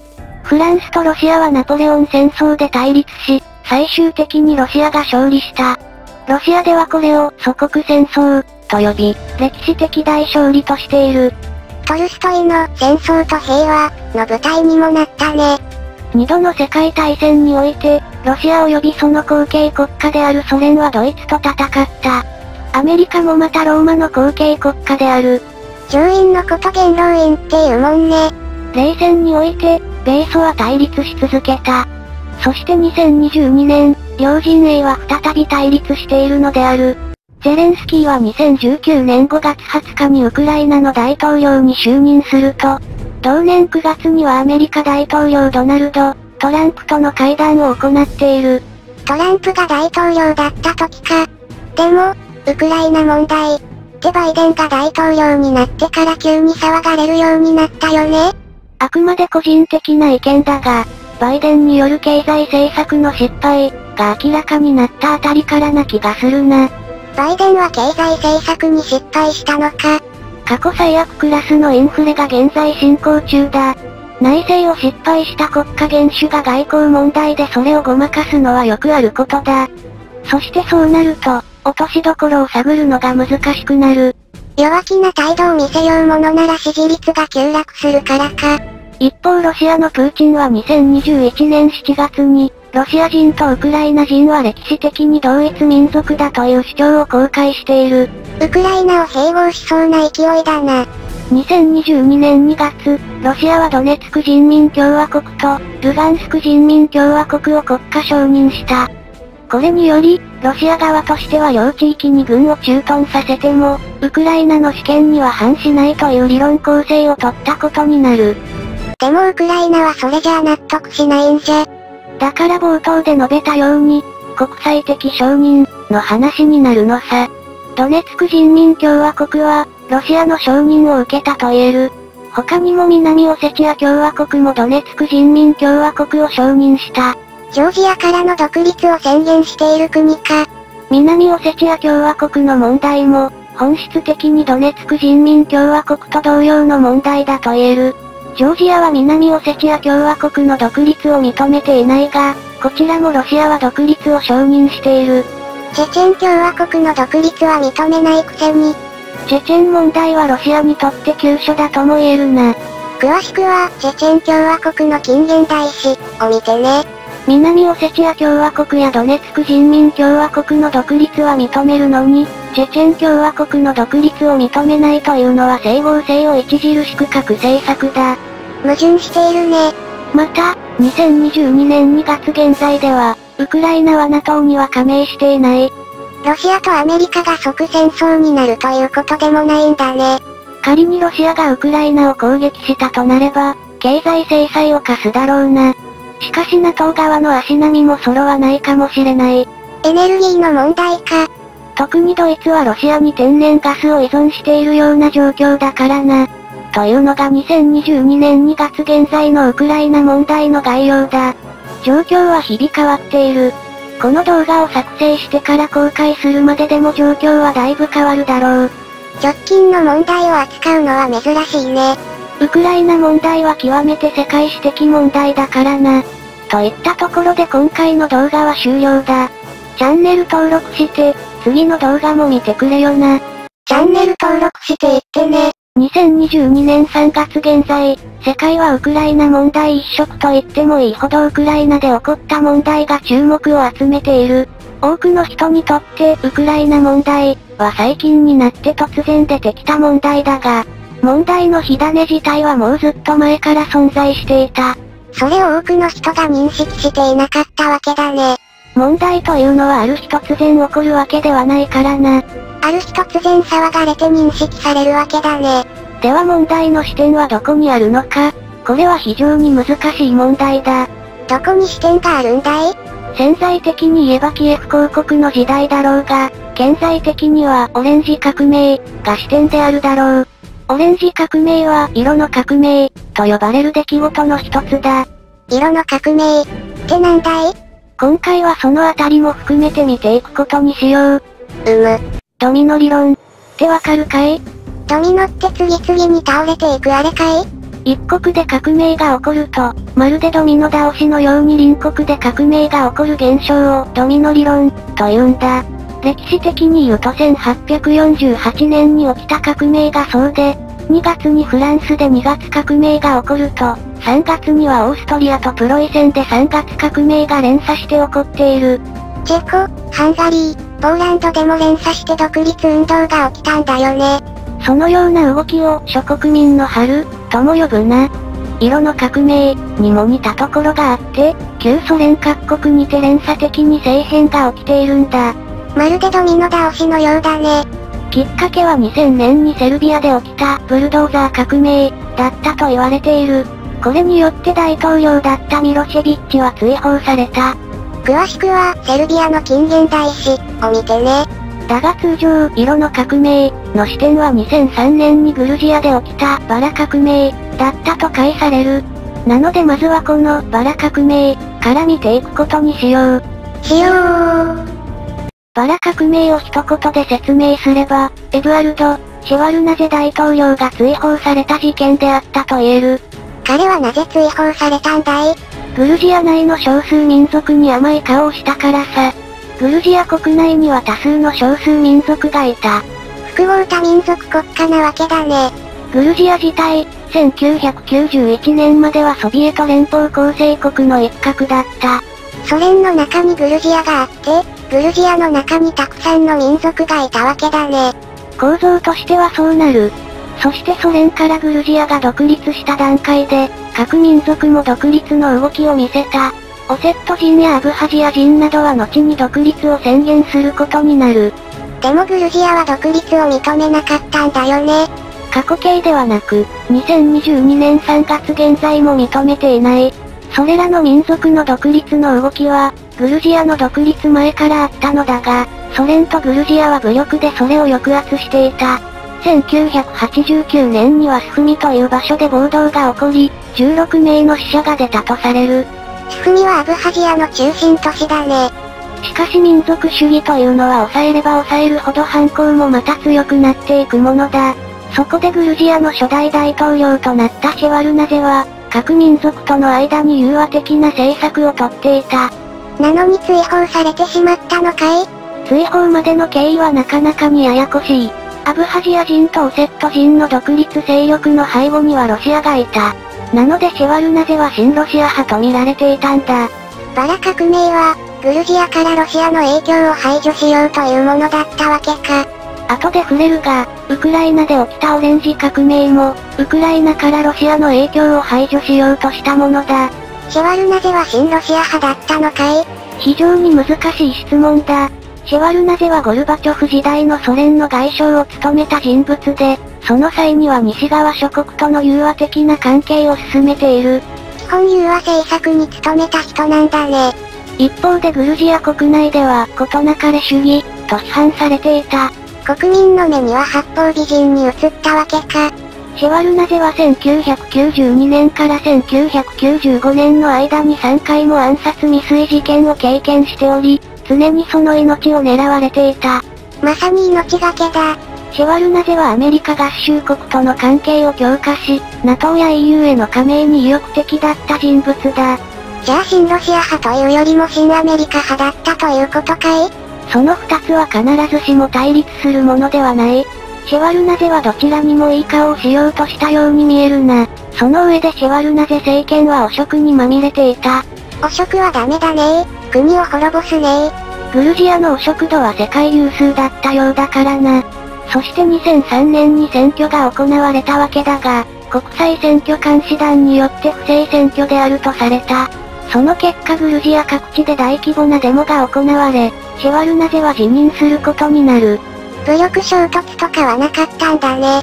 平和的に終わり、流血や死傷者が出ないようにしたい。シェワルナゼはそう言って辞任したという。それは、革命、なのかい？さあな。でもこの出来事は、バラ革命、と呼ばれている。革命のバーゲンセール状態だね。バラ革命が起こった結果、グルジアは少数民族への融和政策を改め、アブハジアと南オセチアがロシアの支援を受けて独立を宣言することになる。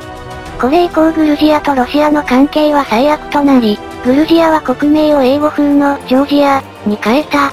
詳しくは南オセチア問題を見てね。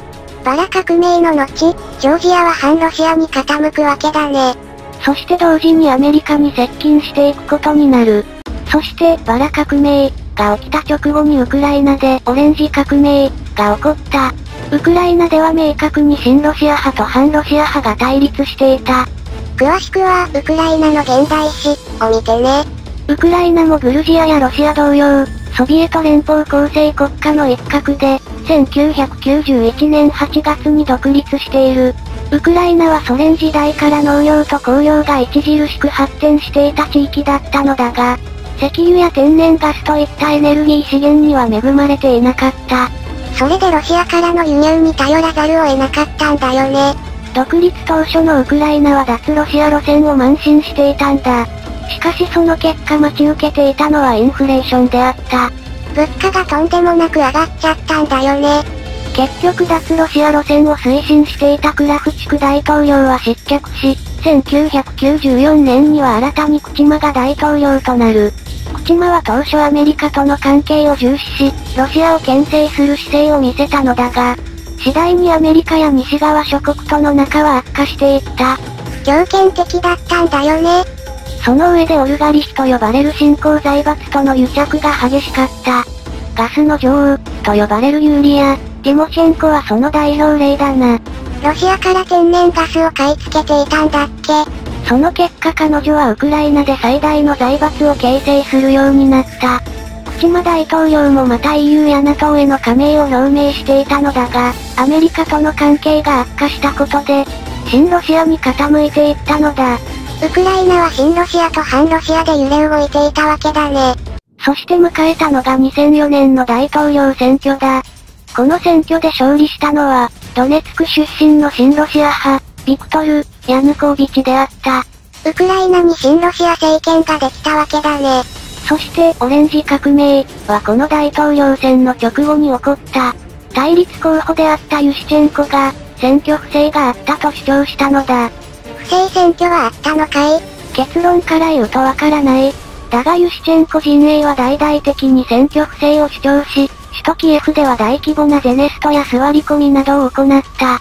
これらの行動はマスメディアを通じて西側諸国に放映され、結局選挙のやり直しということになったのだ。外圧をうまく利用したんだね。やり直し選挙ではユシチェンコが約52%、ヤヌコービチが44%を獲得し、反ロシア派のユシチェンコが大統領となった。とてつもなく僅差だったんだね。ロシアに近いウクライナ東部では、ヤヌコービチを支持する声が多く、逆にウクライナ西部ではユシチェンコを支持する声が多かったんだ。ウクライナ東部にはロシア人もたくさん住んでいるんだよね。ウクライナは一大工業地帯だったため、たくさんの労働者が集まってきていた。例えばソ連の書記長になったフルシチョフなんかもウクライナ出身だ。ソ連の有力者の中にはウクライナ出身者がたくさんいたね。この一連の出来事はオレンジ革命と呼ばれる。また革命か。オレンジ革命後に大統領となったユシチェンコは、ガスの女王、ティモチェンコを首相に任命している。オルガリヒがついに首相にまでなったのか。新興財閥がいかにウクライナで力を持っていたかがわかるな。ティモチェンコはその財力を持ってオレンジ革命を支援していたとも言われる。また、オレンジ革命の裏にはアメリカがいたという指摘もあるな。本当にどこにでも顔を出すな。ウクライナ問題は、ロシアがアメリカの態度に恐怖して起こったという面もあるからな。ウクライナにおける反ロシア派は、アメリカ合衆国と結びついている。ジョージアと同じ構図だ。実はアメリカにはウクライナ系移民が非常に多い。ハリウッドで活躍するミラ、ジョボビッチなどは有名だな。ウクライナ人のアメリカへの移住の歴史はかなり古く、最も古い記録は1608年のこととなっている。まだアメリカ合衆国ができる前か。なのでウクライナにおける新ロシア派と反ロシア派の対立は、そのままロシアとアメリカの対立になってしまったのだ。そして、オレンジ革命の直後にチューリップ革命は起きた。今度はどこの国で起きたんだい？中央アジアに位置するキルギスという国だ。キルギスもまたロシアやウクライナ同様、ソビエト連邦を構成する15の共和国の一つだった。キルギスの人口の9割はイスラム教徒であると言われている。ソビエト連邦にはイスラム教徒の人たちも住んでいたんだね。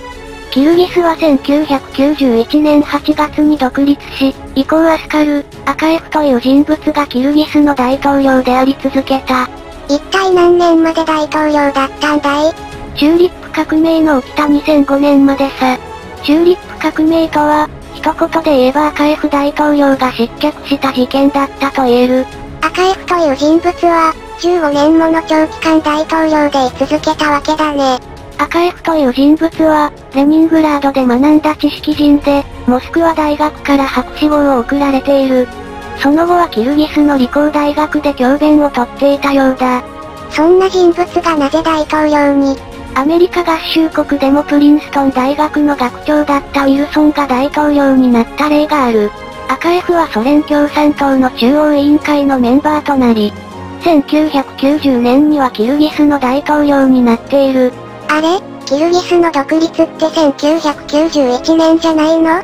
ややこしい話だが、キルギスの国家試験宣言はそれより前の1990年12月のことで、赤 F の大統領就任の約2ヶ月後だ。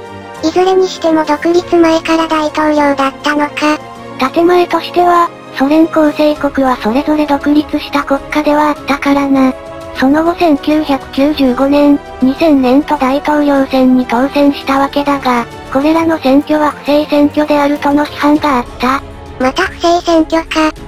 チューリップ革命が起こる少し前の1992年、キルギスにて大規模なデモ運動が起きた。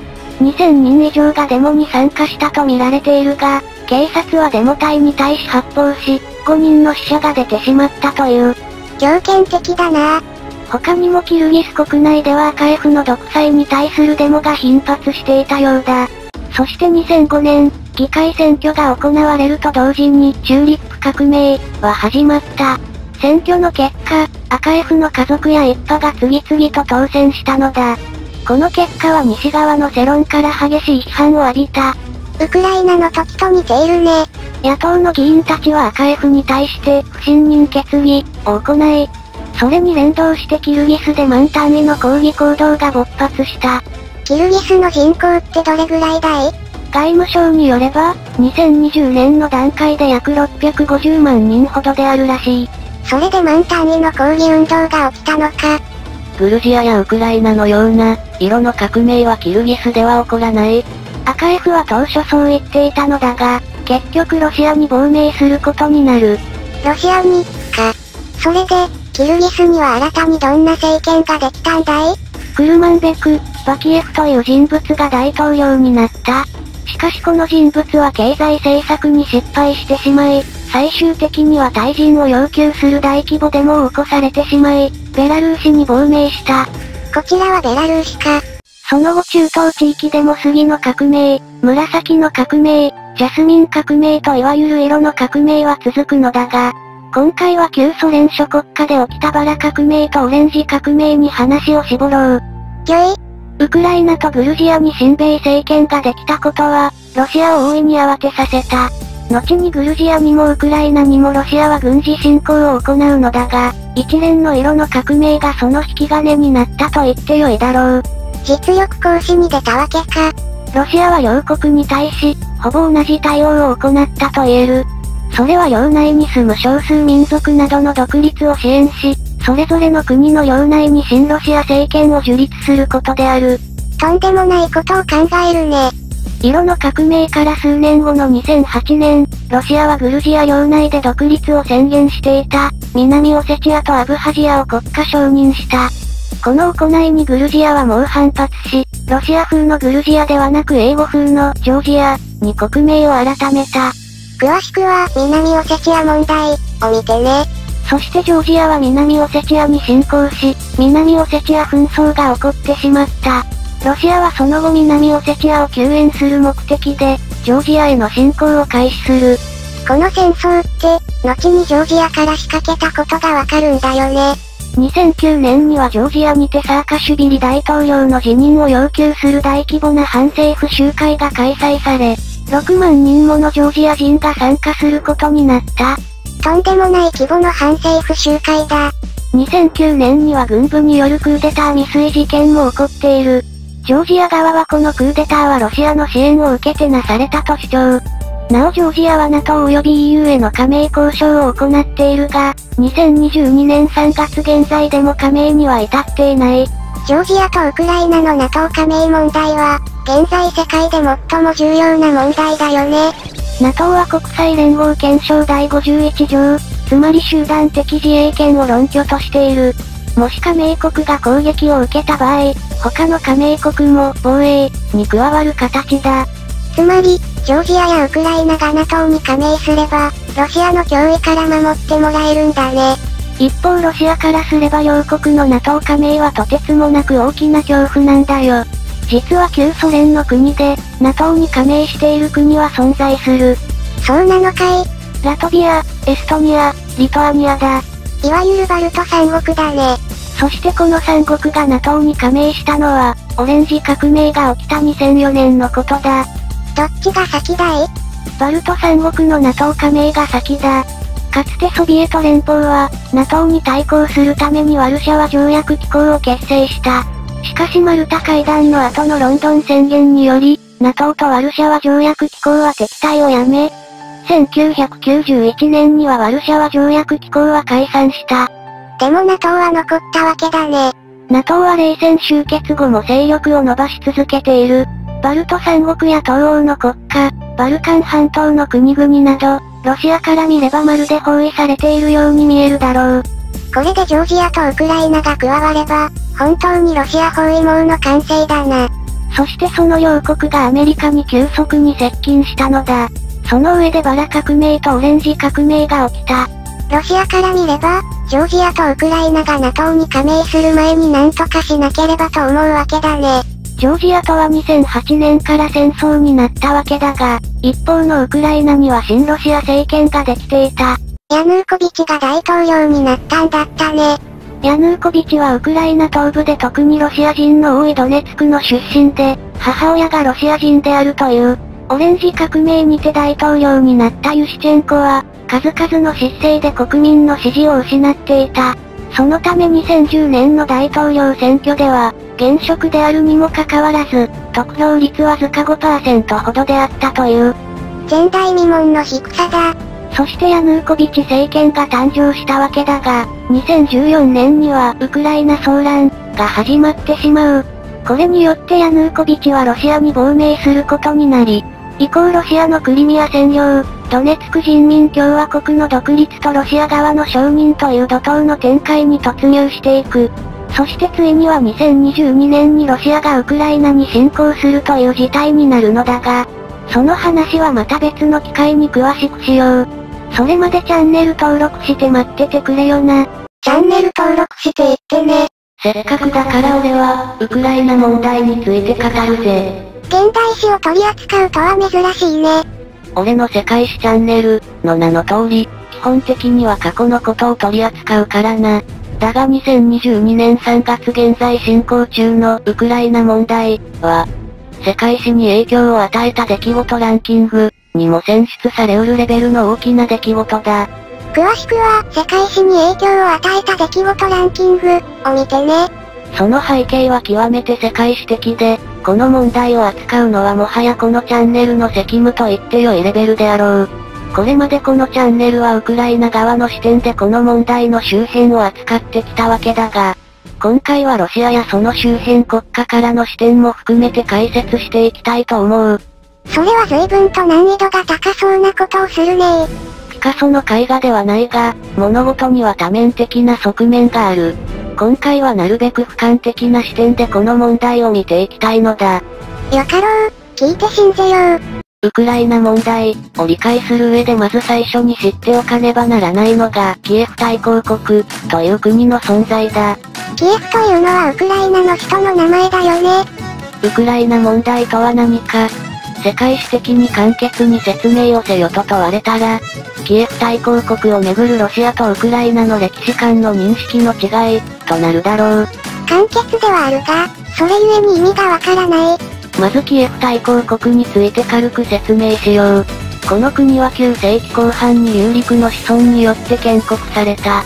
有陸とは何者かね。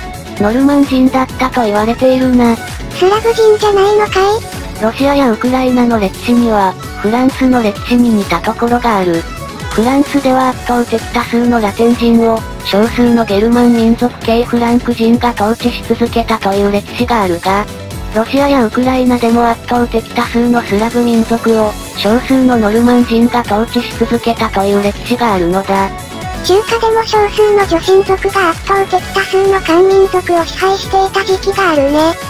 有陸の子孫による支配体制は長く続き、歴史的には有陸朝とも呼ばれている。そのことが現在の問題とどう結びつくんだい？キエフ大公国に対する歴史観は、ロシアとウクライナの間で真っ向から対立しているんだ。ウクライナ側はキエフ大公国はウクライナ人の独立の証だとしている。しかしロシア側はロシアとウクライナはもともと一つの国であり、それはキエフ大公国の存在が証明しているとしているのだ。同じ国の歴史的位置づけが異なるのだね。ロシアとしてはウクライナを併合したい、ウクライナとしては独立を保持したい。そのための理論構成とも言えるな。なんでロシアはウクライナを併合したいんだい？理由はいくつもある。しかしそれを簡潔に説明するのは非常に難しい。なぜ難しいんだいソビエト連邦の復活。それがロシア側の最終目標なのだろう。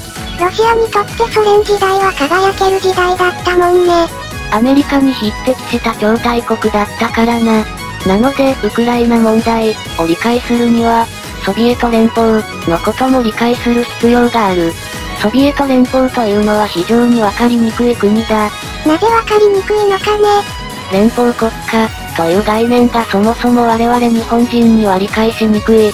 ソビエト連邦というのは、建前的には15の共和国の連邦国家だったのだ。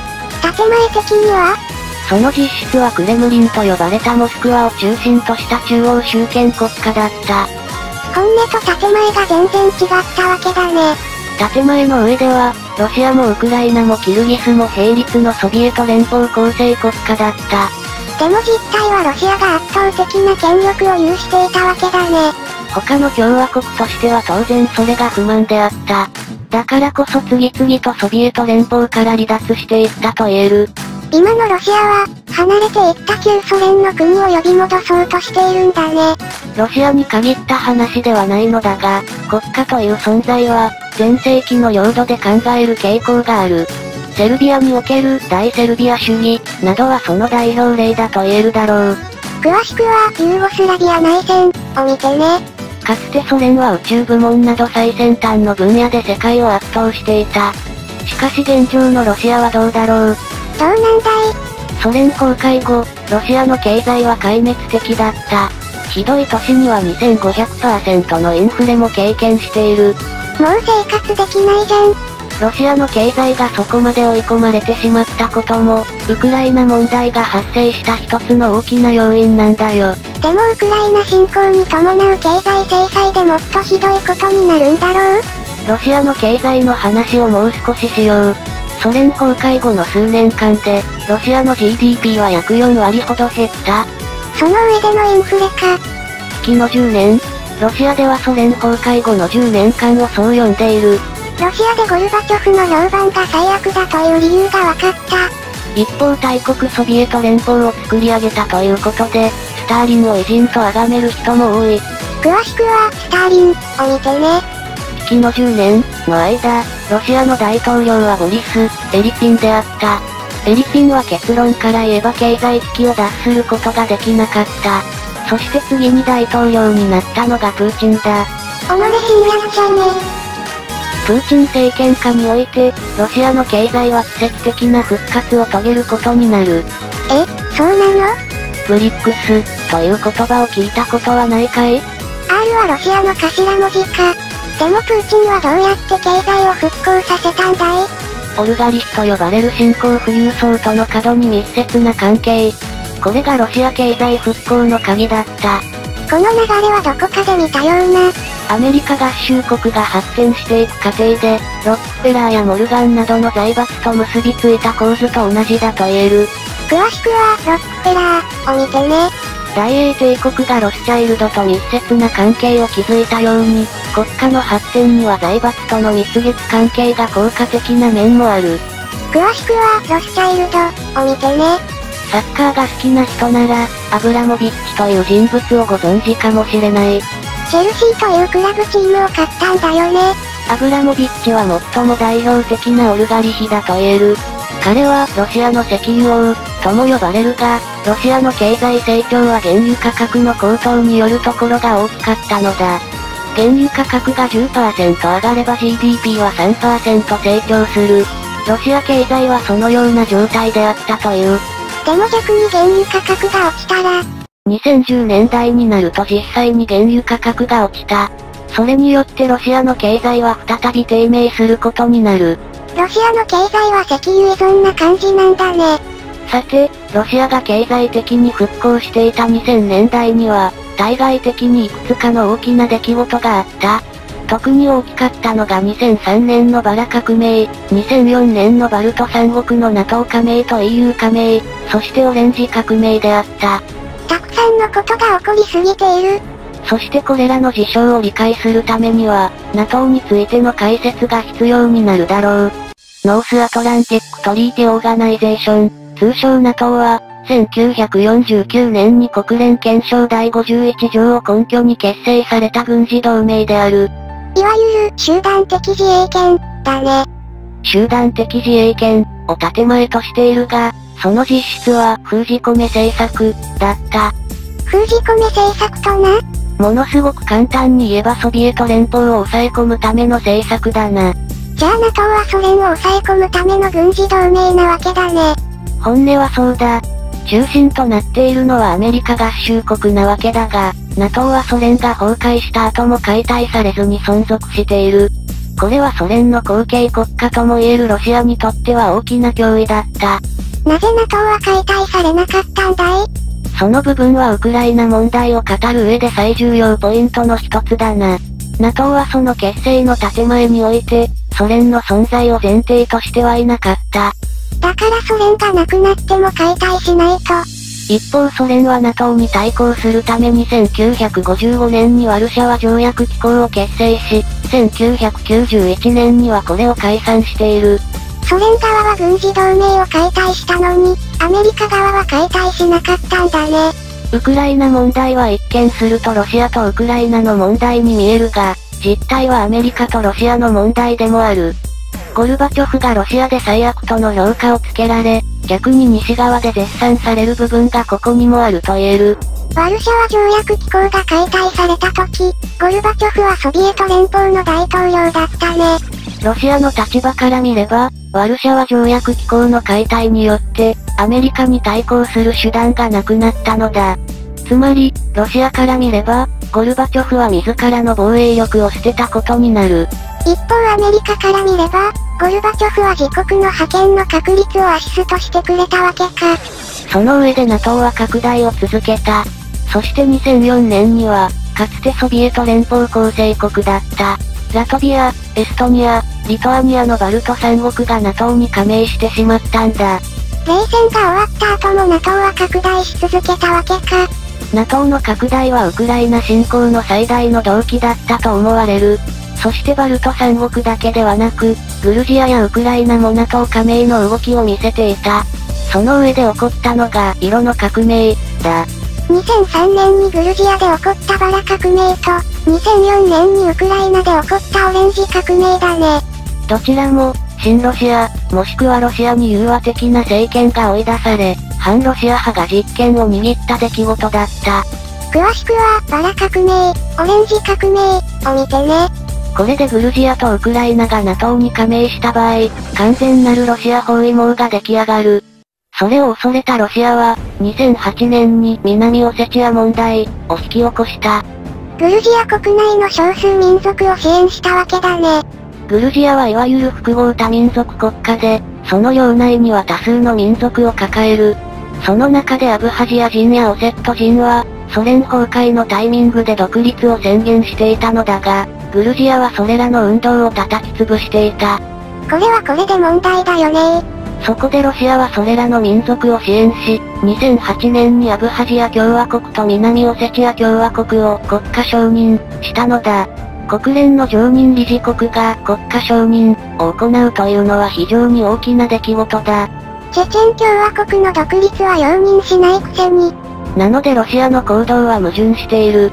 グルジアが南オセチアに軍事介入したことで、ロシアはグルジアへの侵攻を開始した。その後ロシアは撤退したのだが、ロシアとグルジアの関係は最悪となり、グルジアは国名を英語風のジョージアに変更することになる。詳しくは南オセチア問題を見てね。結局ジョージアの NATO 加盟問題は棚上げとなり、南オセチア問題は2022年3月現在でも解決していない。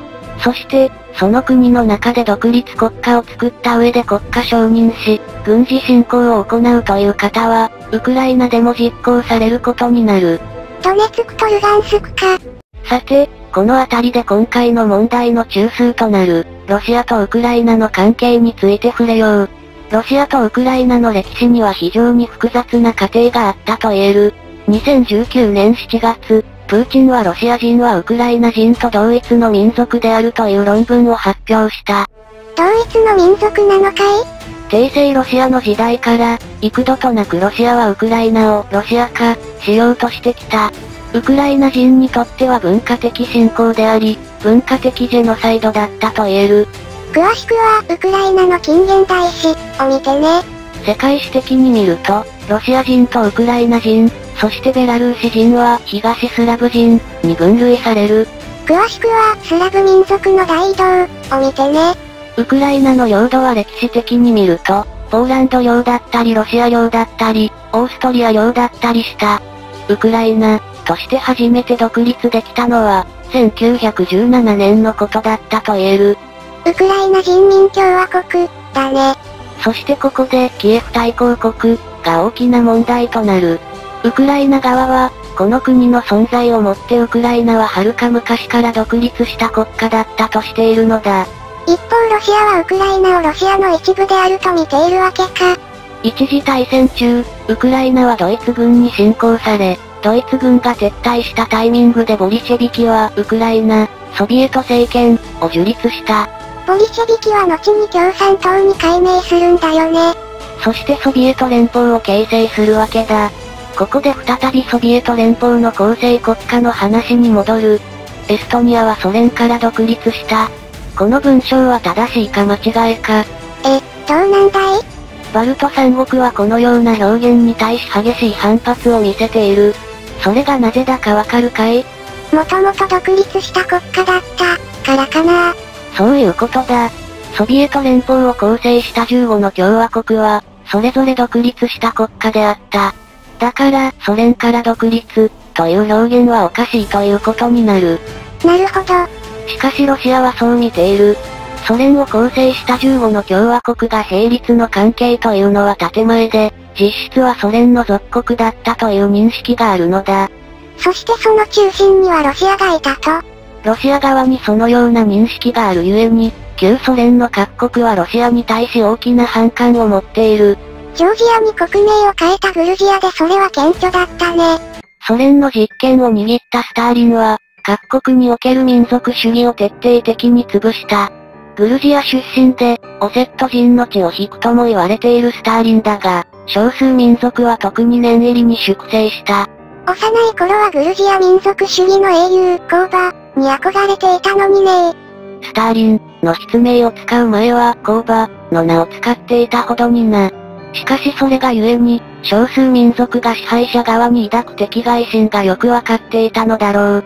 スターリンはソ連領内で反乱分子を容赦なく粛清し、時には少数民族の強制移住政策を実行した。被害人数を正確に把握するのは不可能で、最小で100万人単位、最大で1000万単位とする推計もあるほど大規模なものだった。あまりにも規模が違いすぎる。大粛清が起こる直前、スターリンはウクライナにて人類史上最悪の惨劇の一つ、ホロドモール、を引き起こしている。スターリンはかつてレーニンが失敗した穀物の強制徴収政策を実行し、穀倉地帯であるウクライナを中心に大規模な飢餓状態を生み出してしまった。その穀物は外貨取得のために輸出したんだよね。また、ウクライナは穀倉地帯でもある一方で、オデッサという港湾都市を有するため、工業重点地域でもあった。そのため農村から都市への移住を促し、その政策が農業生産量を減らすことにもつながったのだ。その結果数百万から千万単位の餓死者が出たと見られるが、スターリンはこの出来事を徹底的に隠蔽したために、現在でも正確な被害規模は分かっていない。詳しくは、ホロドモール、を見てね。その後はウクライナにおいてロシア化政策、が進められ、ウクライナ共産党の幹部は粛清され、そのトップには、スターリンのお気に入りであるフルシチョフが就任することになる。そうやって中央政府による各共和国への支配を行ったんだよね。ソビエト連邦という国は、あらゆる点で建前と実質の違う国だったな。ライバルであったトロツキーとジノビエフがウクライナの出身であったからか、スターリンは特にウクライナには厳しかった。ソ連全体の約2割の投資がなされた一方、ウクライナの文化は徹底的に抑圧された。しかしウクライナ出身のフルシチョフがソ連の第一書記になると、ウクライナに対する融和政策が進んだ。ソビエト連邦初期の有力者には、ウクライナ出身者が多かったよね。ソビエト自体が反ロシア帝国の流れで形成された存在だったと言えるからな。なのにやっぱり中心はロシアなんだね。この点、ソ連各国は中央政府に搾取されていると感じていたようだが、中央政府のあるロシアでは、自分たちの利益が必要以上に分配されている、と感じていたようだな。ユーゴスラビアにも似たような話があったね。どの国にも、地域的経済格差がある。日本でも東京が圧倒的で、他の地域との所得格差が深刻だね。ユーゴスラビア連邦もソビエト連邦も、共産主義の国であるがゆえに、格差を無理やりにでも是正しなければならない。裕福な地域は自分たちの利益が削減されることに対し、そうでない地域は富裕な地域があることに不満を持つ。ユーゴスラビアはそれで崩壊したね。結局富裕地域であるスロベニアが真っ先に離脱したからな。ソビエト連邦末期になると、やはり多くの共和国が離脱を宣言した。1988年にはエストニアが試験宣言を行い、翌1989年にはリトアニアとラトビアがそれに続いた。バルト三国の動きは重要なんだね。ソ連構成国の中で最も西側にあるからな。ソ連のゴルバチョフはこれに反発し、リトアニアに対して試験宣言の取り消しを求め、経済制裁に踏み切っている。ソ連は離脱を防ごうとしていたんだね。ゴルバチョフのこの動きは大きなポイントとなるな。しかし他の連邦構成各国も次々と試験宣言を出し、ついにはロシア連邦共和国すら試験宣言を出した。ロシアもかい？ロシアとソビエト連邦の関係もまたかなり複雑だ。ロシアのトップであったエリツィンと、ソ連のトップであったゴルバチョフの関係は非常に悪化していた。エリツィンはゴルバチョフを公然と、それも激しく非難し、結局試験宣言に至ったわけだ。なのにロシアはソ連を復活させたいのかい？ロシアはその後、ウクライナ、ベラルーシと共に独立国家共同体、通称 CIS を結成する。また新しい単語が出てきた。コモンウェルス・オブ・インデペンデント・ステイツ。日本語では独立国家共同体と訳されているな。コモンウェルスというのは、イギリスとオーストラリアやカナダとの関係と同じだね。CIS が結成されたのは1991年12月8日。ソ連が解体したのっていつだっけ？正式な解体は1991年12月26日。じゃあ CIS はソ連崩壊前に結成されたわけだね。CIS にはロシア、ベラルーシ、ウクライナに加え、キルギスやアゼルバイジャンなど、最終的にはバルト三国を除いた旧ソ連の国々が参加した。ソビエト連邦とは何が違うんだい？それを説明するのはとても難しい。ソビエト連邦はあくまで一つの国家を形成したが、CIS は共同体であって国家ではない。じゃあ何のためにあるんだい？それは大きな問題だな。当初加盟各国の間で集団安全保障条約が締結されていた。軍事同盟でもあったわけだね。ロシアをはじめ、東側の各国には NATO に対して激しい恐怖感があるんだよ。CIS の中ではさらに集団安全保障条約機構が結成され、軍事同盟としての性格も強くなっていく。ソ連の地位はロシアが継いだんだったね。つまりロシアは核兵器を保有しているということだ。冷戦は終わったのだが、東西の対立が完全に消えたわけではなかったと言えるだろうな。軍事的には緊張状態がずっと続いていたわけだね。世界は非常に危うい中で存続を続けているんだよ。そしてこの CIS にはほころびが見えるようになる。原因はロシアで実権を握ったプーチンの高圧的な態度だったと言われている。やっぱりこの男か。プーチンはロシア中心主義的な姿勢を隠そうともしなかったからな。南オセチア問題などもあり、2008年にはジョージアが CIS を脱退した。プーチンの態度は急祖各国の離反を招いてしまったよね。2022年3月現在ロシアと共に経済制裁の対象になっているベラルーシだが、ロシアの態度を嫌気して一時期西側各国に接近したことがあったぐらいだからな。よっぽど高圧的な態度をとったんだろうねまあ、プーチンの就任前から CIS 各国はロシアから距離を取り始めていたんだがな。そして2014年、ウクライナが CIS から脱退することになった。これはウクライナ侵攻の引き金の一つだったと言えるだろう。引き金の数が多いな。2014年はロシアとウクライナにとって非常に重要な年となった。この年、ウクライナは内乱状態になり、ロシアはクリミアを占拠した。何がどうなってそうなった？2014年の話をする前に、ソ連崩壊から2014年までのウクライナの情勢について触れよう。ソ連崩壊後、ウクライナは脱ロシアを目指したのだが、結論から言えば失敗に終わった。エネルギー問題が原因なんだよね。ウクライナは農業的には非常に豊かな土地だが、石油や天然ガスなどのエネルギー資源には恵まれなかった。その状態で脱ロシアを目指した結果、1000%を超えるインフレとなり、デフォルトを起こしてしまったのだ。ちなみにだが、2022年3月現在、アメリカは前年比8%弱のインフレで大騒ぎをしている。8%弱のインフレーションでも正直かなり苦しいよね。アメリカでは40年ぶりの高水準であるという。ロシアやウクライナとの違いが大きすぎる。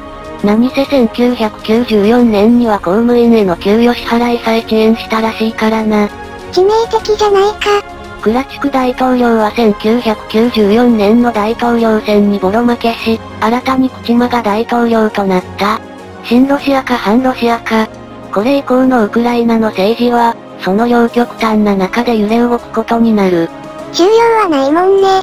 大統領となったクチマは、西側諸国との連携を強化し、EU 及び NATO への加盟を表明した。これがロシアを刺激したのは言うまでもない。反ロシアに舵を取ったわけだね。ところがクチマは次第に西側各国との関係を悪化させることになる。どうしてそうなったんだい？?2000 年に、ゴンガゼというジャーナリストが殺害されたのだが、その事件にクチマが関わっていたという疑いがあったのだ。現職の大統領が？ゴンガゼはクチマ政権及び、ウクライナ政府の汚職を糾弾していたんだ。ウクライナは汚職が多いんだね。国際的な NGO が2009年に発表した汚職指数ランキングでは、ウクライナは167カ国中130位だった。参考までにベラルーシは107位だ。独裁国家より汚職がひどいのかよ。ここでも問題になってくるのがオルガリヒ、だ。新興富裕層か。クチマ政権はオルガリヒとの癒着が激しかった。また、クチマはイラクの独裁者であるサダム、フセインへのレーダーシステムの販売を許可したとも言われており、西側各国から批判の声が強くなっていったのだ。そうするとどうなるんだい？自然ロシアとの距離が近くなる。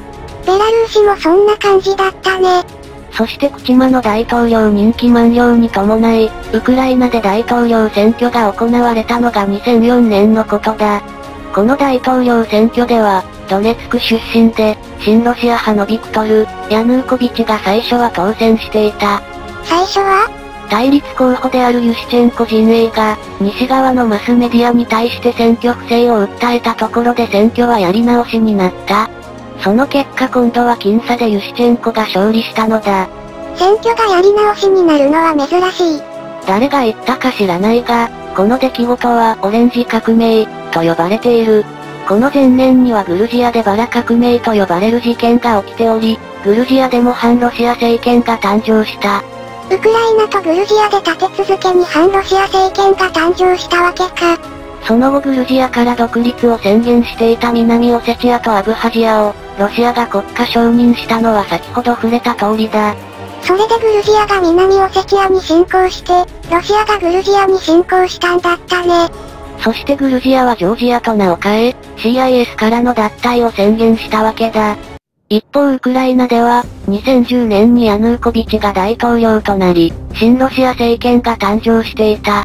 オレンジ革命で大統領になったユシチェンコは、数々の失勢により人気が急落し、大統領選挙に出るもわずか5%の支持しか得られなかった。何をどうやったらそんなことになるんだよ。ウクライナにおける親ロシア派と反ロシア派の勢力は拮抗していたと言える。歴史的な経緯や立地的な問題もあり、ウクライナの東部では親ロシア派が多く、西部では反ロシア派が多い傾向にある。ヤヌーコビチの出身地であるドネツクはウクライナ東部にあったね。ドネツクはウクライナの中でも特にロシア人の多い地域で、ヤヌーコビチの母親もロシア人のようだな。むむむロシア人が皆ロシアに住んでいるわけではない。ロシア以外の地域に住むロシア人は、2500万人を超えると言われている。国家レベルの規模じゃないか。ウクライナはソ連時代の工業重点地域だったこともあり、特にロシア人が多いんだ。思えば日本人が全員日本に住んでいるわけでもないか。アメリカやシンガポールに住んでいる人もいるな。また、ロシア人とウクライナ人が結婚するパターンも多い。そういう人にとって今の状況は辛いね。エネルギー問題に代表されるように経済的な問題もあり、両国の関係は非常に複雑なんだ。そして両国は2014年を迎える。ロシアとウクライナにとって、2014年は分岐点となる年だった。ウクライナ騒乱に乗じてロシアがクリミアを占拠したんだよね。その上でドネツクとルガンスクがウクライナからの独立を宣言した。いろいろなことが起こりすぎてよくわからない。問題の発端は、2013年にウクライナのヤヌーコビチ大統領が、EU との政治、貿易協定の調印を見送ったことにある。ロシアからの圧力かい？仮調印はすでに済ませていたため、そのように返されているな。そしてそのことがウクライナ国内における反ロシア派を大いに刺激した。反ロシア派は大規模なデモを主導し、ヤヌーコビチ大統領はそれを叩き潰した。大変なことになった？2014年2月18日には、合計82名の死者を出す事態になってしまった。そして事態はますます悪化し、ウクライナは騒乱状態になってしまう。2月19日、ウクライナで非常事態宣言が出される。本当にヤバい状態の時にしか出されないやつだね。その後ヤヌーコビチは首都キエフを脱出し、ブルチノフが暫定大統領となり、ヤヌーコビチには逮捕状が発行された。展開が早すぎて追いつかない。一方2月26日より、ロシアによるクリミア侵攻が始まった。なぜそうなる3月17日、クリミア議会はウクライナからの独立を宣言し、ロシア連邦への加盟を要請した。3月18日、ロシアとクリミアは、クリミア共和国及びセバストポリのロシア連邦加盟条約に調印した。だからなぜそうなる？動きの速さから見て、あらかじめ準備がされていた可能性もあるな。一方ヤヌーコビチのふるさとであるドネツクでは、親ロシア派とウクライナ保安庁の間で激しい戦闘が始まった。その結果親ロシア派は庁舎を占拠し、ドネツクは4月7日に建国宣言を行い、5月12日に独立宣言を行うこととなる。どこにそんな力が背後にはロシア連邦保安庁がいたと考えられている。一体どんな組織なんだい？要は KGB の後継組織だ。FSB の通称でも知られ、1998年7月から1999年8月まで、プーチンが長官を務めている。改めてそんな人物が国連常任理事国の国家元首になっていたんだな。情報組織は映画や小説の産物じゃない。このような形で今も世界中で暗躍しているんだ。本当に恐ろしやな話だ。そして4月27日、ウクライナの東端にあるルガンスクでも、親ロシア派により建国宣言が出された。そして5月12日には独立を宣言している。いろいろなことが一気に起こりすぎている。2014年の情勢をまとめると、ウクライナで親ロシア政権が倒れ、クリミア、ドネツク、ルガンスクがウクライナから独立を宣言した。そしてドネツクとルガンスクが相互承認し、南オセチアとアブハジアも国家承認した。ここでジョージアから独立を宣言した両地域が出てくるのか。ウクライナ側は当然この動きに反発した。ウクライナはどんな状態なんだい？親ロシア派ヤヌーコビチの追放以降、オレクサンドル、ブルチノフが臨時大統領となり、その後はペトロ、ポロチェンコが大統領となった。おかしの人だポロチェンコは、チョコレート王、の異名を持つオルガリヒの一人だ。このことでもわかるように、ウクライナの政財界はオルガリヒが牛耳っている。チョコレート、チョコレート。そしてその代表がユーリア、ティモシェンコだ。ガスの女王、だね。彼女はウクライナ情勢におけるキーとなる人物だ。ティモシェンコはガスの女王の異名の通り、ロシアからガスを輸入することで財を成し、オレンジ革命後の2005年には首相に就任している。オルガリヒが首相になったり大統領になったりするのか。彼女は、ティモチェンコブロック、と呼ばれる政治組織を結成し、2014年に臨時大統領となったプルチノフも、ティモシェンコブロックの出身者だ。経済界が政界を支配しているわけだね。ここまで露骨なのは世界史全体でも珍しいがな。ティモシェンコ一派は圧倒的な財力と権力を誇ったが、国民からの人気はまるでなかった。ティモシェンコ自体も2001年に逮捕されており、黒い噂が絶えない人物でもあるのだ。そういう政治家が人気になるのは難しいね2011年には再び逮捕されていたが、2014年のウクライナ騒乱の後にティモシェンコは釈放されることになる。そして大統領選挙に出たのだが、約13%の得票率にとどまり、ポロシェンコに敗れたというわけだ。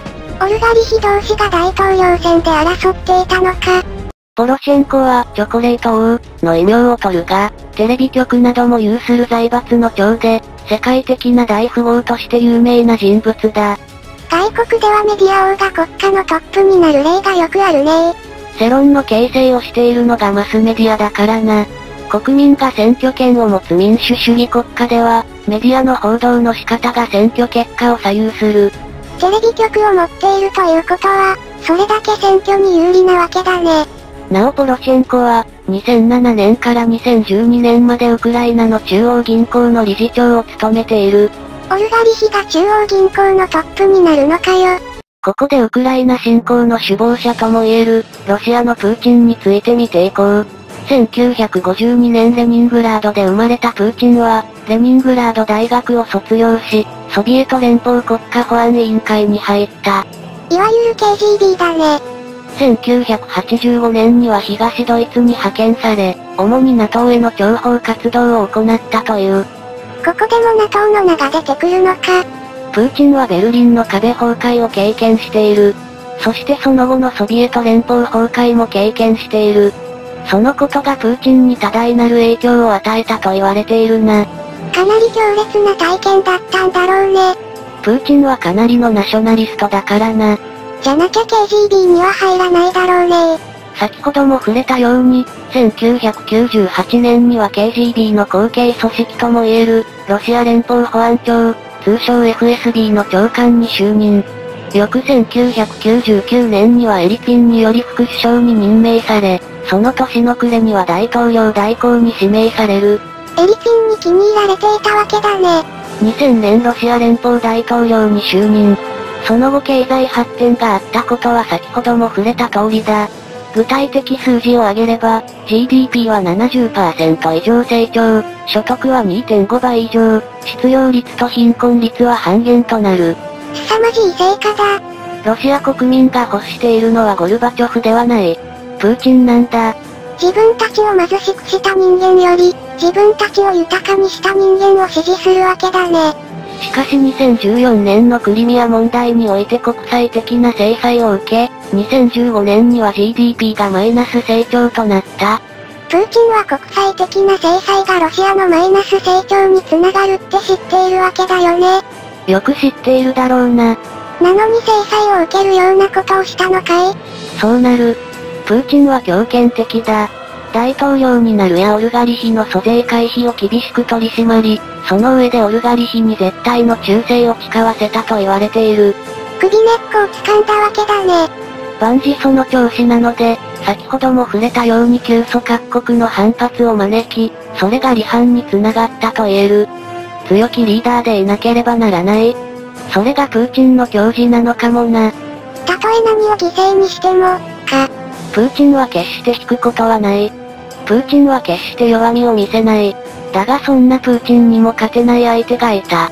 それって、アメリカ合衆国だ。東ドイツの崩壊は、プーチンにとって敗北だった。そしてソ連の崩壊も、プーチンにとって敗北だった。ソビエト連邦は、アメリカ合衆国に負けたのだ。プーチンは NATO のやり方を調査していたんだったね。アンチはファンよりも詳しいというが、プーチンはアメリカ以上にアメリカに詳しいと言える。今回のウクライナ侵攻も、徹底的にアメリカ合衆国の動きを研究していたと見られている。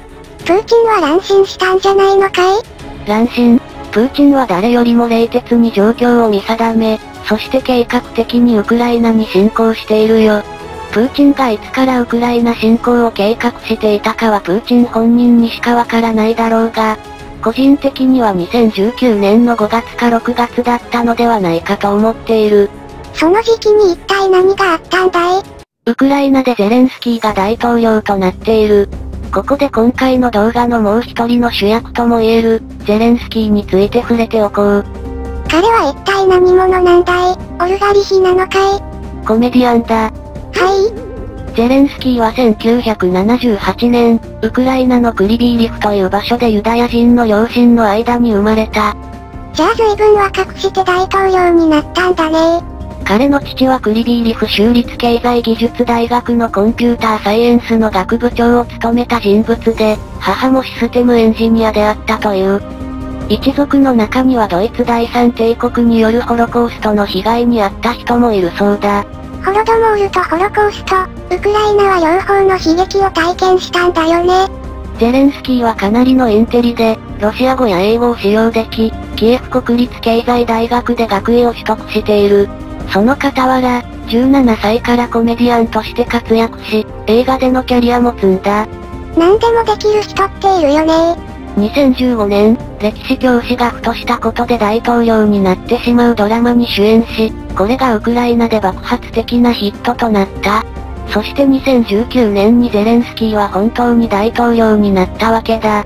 ドラマで大統領を演じた人物が、本当に大統領になったということか。アメリカでもハリウッド俳優だったレーガンが大統領になった例はあるが、ゼレンスキーのような例は今までなかったと言える。ゼレンスキーの主演したドラマでは、オルガリヒに政治家が操られる様が描かれ、ゼレンスキー演じる主人公がそういった汚職を一掃している様も描かれたという。国民のオルガリヒや汚職に対する怒りがゼレンスキー大統領誕生の原動力になったわけか。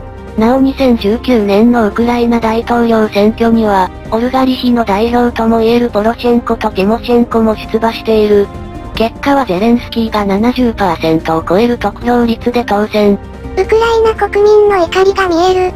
そしてゼレンスキーが結成した新党は、2019年7月の選挙において、424議席中240席を占めることになる。ゼレンスキーフィーバーだね。一方ロシアのプーチンは、2019年7月に、次のような趣旨の論文を発表した。ロシア人とウクライナ人はもともと同一の民族である。ゼレンスキー政権ができてすぐのことか。ゼレンスキー政権への牽制であるようにも見えるし、ウクライナ併合への意思表示にも見える。いずれにしても、プーチンはこの段階ですでにウクライナ侵攻を計画していたと見るのが自然だろう。でもそこから2年以上かかったんだね。プーチンは侵攻のタイミングを伺っていたのだろう。大統領となったゼレンスキーは、当時アメリカ大統領だったトランプと、2019年7月に電話会談を行っている。この電話記録は公開されており、内容は後に大統領となるバイデンの息子のスキャンダルについてだったようだ。なぜそんな内容を？もちろんそれだけではない。国防について、ウクライナがアメリカからミサイルを購入する話も出ている。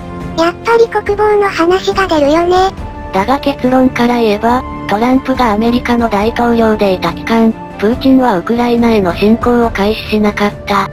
しかしバイデンが大統領になった際、プーチンは挑発とも取れる行動をとっている。一体何をしたんだい ?2021 年2月、つまりバイデンが大統領になったその翌月に、ロシアはウクライナとの国境近くで軍事演習を行った。それでバイデンはどうしたんだい？?3 月16日から NATO による軍事演習が開始された。かなり緊張状態が高まってきていたんだねこの時アメリカとロシアの関係は悪化し、ロシアは駐米大使を召喚したほどだ。6月には対ロシア制裁が発表され、ロシアの外交官10人がアメリカから追放されている。そして8月に開催されたのが、クリミアプラットフォーム、だ。なんだいそれは。2021年8月24日は、ウクライナの独立30周年記念日だった。ウクライナはソ連から独立した。としているわけだね。この辺りはバルト三国とは認識を意味する部分だな。そしてその前日の8月23日に、クリミアプラットフォームが開催されたわけだ。クリミア問題について話し合うのが目的だね。なおバイデン大統領はここには参加していない。また各国とも首脳級を参加させなかった。そしてプーチンは、そこに欧米側の態度を見て取ったという。なるべくロシアを刺激したくなかったということかな。プーチンはそれを感じ取ったと言われているな。できる限りロシアに制裁を課したくない。それが EU 各国の本音でもあったのだ。どうしてだい？ノルドストリーム。ってわかるかい？必殺技かい？ロシアの天然ガスをヨーロッパに運ぶためのパイプラインのことさ。近年欧米は脱炭素、脱原子力を推進してきた。アメリカのバイデン大統領などは、脱炭素を公約に掲げているぐらいだ。それで天然ガスの需要が高まったわけだね。ドイツをはじめ、EU 各国はロシアに天然ガスを依存している状態だ。ロシアに経済制裁を課すということは、欧州でエネルギー問題が生じるということなんだよ。そうなればインフレが起こるわけか。だからクリミアプラットフォームのようになる。プーチンはそれを見越していたわけか。かなり冷静に計算していたと言えるな。また、ロシアは原油生産量でも、近年世界でトップ3に入る産油国だ。特に EU 向けの輸出が多く、ロシアに経済制裁した場合は、EU の経済に大打撃が与えられる構図だ。特に EU がロシアに対する制裁でダメージを負うわけか。また、石油価格が高騰することにより、EU どころか全世界でインフレが起きる可能性がある。ガソリン価格とかが上がるね。輸送費用が上がるからあらゆるものの値段が上がるぞ。そしてプーチンのウクライナ侵攻を決定づけたのが、バイデンによるアフガニスタン撤退、だったと言われている。これはバイデンはもちろん、アメリカの歴史の中でも指折りの失勢だったと言えるだろう。随分手厳しいね。アフガニスタンはひどいことになったし、プーチンはそれを見てアメリカがすでに他国のために動かないことを知った。アメリカは、世界の警察を辞めたのだ。だからウクライナを侵攻してもアメリカが動かないと踏んだのか。そして、プーチン側からすれば、ウクライナ侵攻は、ウクライナが NATO に加盟する前に行う必要があった。加盟してからでは、集団的自衛権が行使されてしまうからか。でも、国連は国連は動かないの？忘れてはいないかい。ロシアは国連安全保障理事会の常任理事国なんだぜ。拒否権を持っているのか？古代ローマの五民間に由来するベトーこと拒否権は非常に強力な権限だ。プーチンは、極めて計画的にウクライナに侵攻したということか。2022年2月、ロシアはドネツク人民共和国と、ルガンスク人民共和国を国家承認した。この背景には2008年のコソボ承認があったとされる。コソボってバルカン半島の？コソボは2008年に独立を宣言し、直後にアメリカが承認。そして英仏がそれに続いて承認している。翌年にはドイツも承認している状況だ。国家承認の問題、か。アブハジア共和国、南オセチア共和国、クリミア共和国、ドネツク人民共和国、ルガンスク人民共和国。ロシアはそれらの国を承認した。国連常任理事国が承認したのだ。やりたい放題じゃないか。ちなみに南オセチア共和国に対しては、ニカラグアにベネズエラ、シリアも国家承認している。この勢いでドネツク人民共和国やルガンスク人民共和国を国家承認する国を増やすつもりか。2022年2月に、ロシアがドネツク人民共和国とルガンスク人民共和国を承認した段階で、このチャンネルではそのことについての動画を出した。その時点では正直、ロシアはウクライナに侵攻まではしないだろうと思っていた。ロシア側が失うものが多すぎるからな。でも侵攻したね。動画を作成してから公開するまでの間にな。詳しくは、ドネツク人民共和国を見てね。ねえ、この問題はどうやったら解決するんだい？正直わからんな。おそらくプーチンは引かないだろう。少なくともウクライナに傀儡政権を樹立するか、クリミア、ドネツク、ルガンスクの独立が国際承認を得るかするまでは、ロシア側の勝利になってしまうじゃないか。果たしてウクライナ問題は終点なのか、それとも視点なのか。この問題がさらに広がる可能性があるってこと？その予想すら正直つかないよ。キーとなるのはアメリカ、フランス、そして中華人民共和国の出方だろうな。安保理の常任理事国だね。中華人民共和国がドネツクやルガンスクを国家承認したら、状況は大きく動いてしまう。常任理事国が2国も。そしてフランスとロシアは歴史的に見て親密だったりもする。ナポレオン戦争では敵対したが、シベリア鉄道がフランス資本で作られ、両大戦でも同盟国だった。イラク戦争においてはロシアとフランスは揃ってアメリカに反対している。そうなれば常任理事国3カ国か。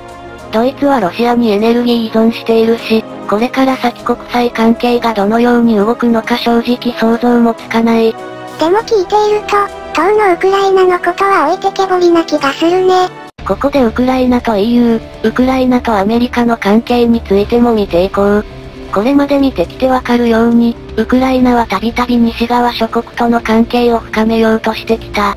でもあまりうまくいっているようには見えないね2014年にヤヌーコビチが政治、貿易協定の調印を見送ったからな。それが原因で2014年のウクライナ騒乱が起きたんだよね。ポロシェンコ政権において、EU とウクライナの距離は接近していた。でもウクライナは EU には加盟していないのだろうバルト三国は加盟したのに、どうしてウクライナは加盟しないんだい？EU 内部において、ウクライナの加盟に対して積極派と慎重派に分かれていると言われている。積極派の代表は今話に出てきたバルト三国だ。慎重派の代表は？ドイツとフランス。ロシアに経済制裁したくない二国か。両国は理由として、ウクライナは腐敗を根絶できていない、からとしているがな。侵攻問題でうやむやになっていたけれど、ウクライナは汚職を根絶できていないのかい？ウクライナ侵攻の直前、ゼレンスキーへの支持率がどれぐらいだったか知っているかい？え、どれぐらいだったんだい ?2021 年10月の段階で約25%だった。国民の4人に3人は支持しないってことかい？それが全てを物語っているだろう。もちろん他の要素も大きい。2021年9月には、ゼレンスキーはアメリカを訪問しているが、あまり良い成果は上げられなかった。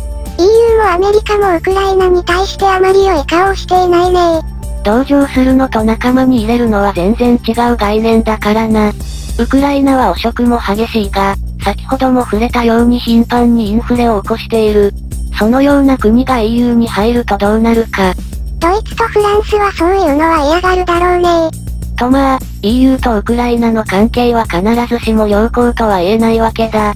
そしてアメリカとウクライナの関係もそこまで良好なわけではないんだね。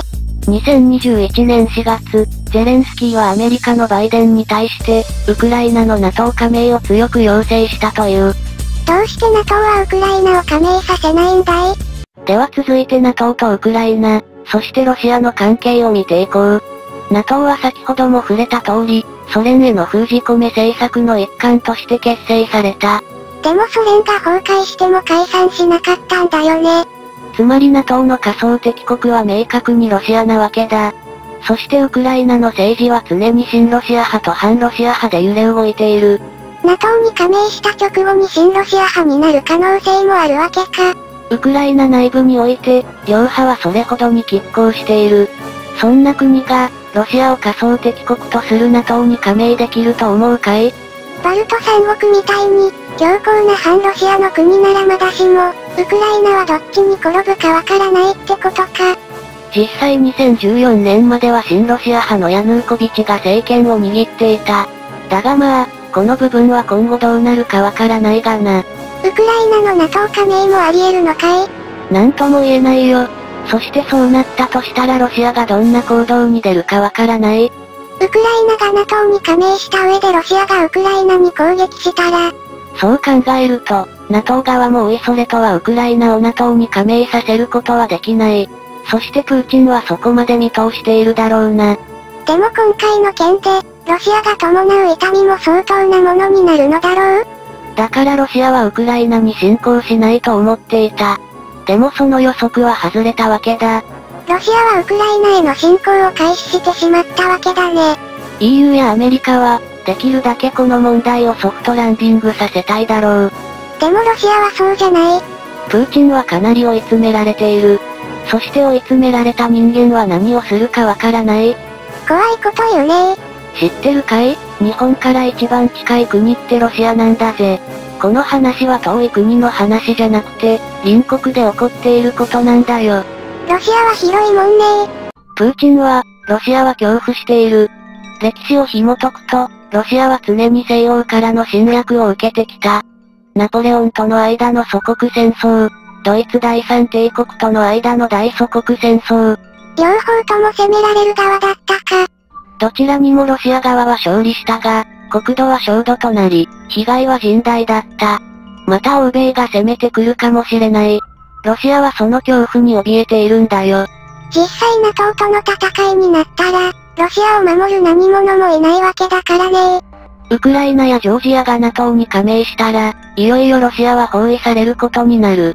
別の動画でも触れたが、スラブ民族とゲルマン民族の対立は、1000年以上も続いているんだ。アメリカ、イギリス、ドイツはゲルマン民族の建てた国だしねフランスのブルボン朝だってゲルマン民族が建てた国だった。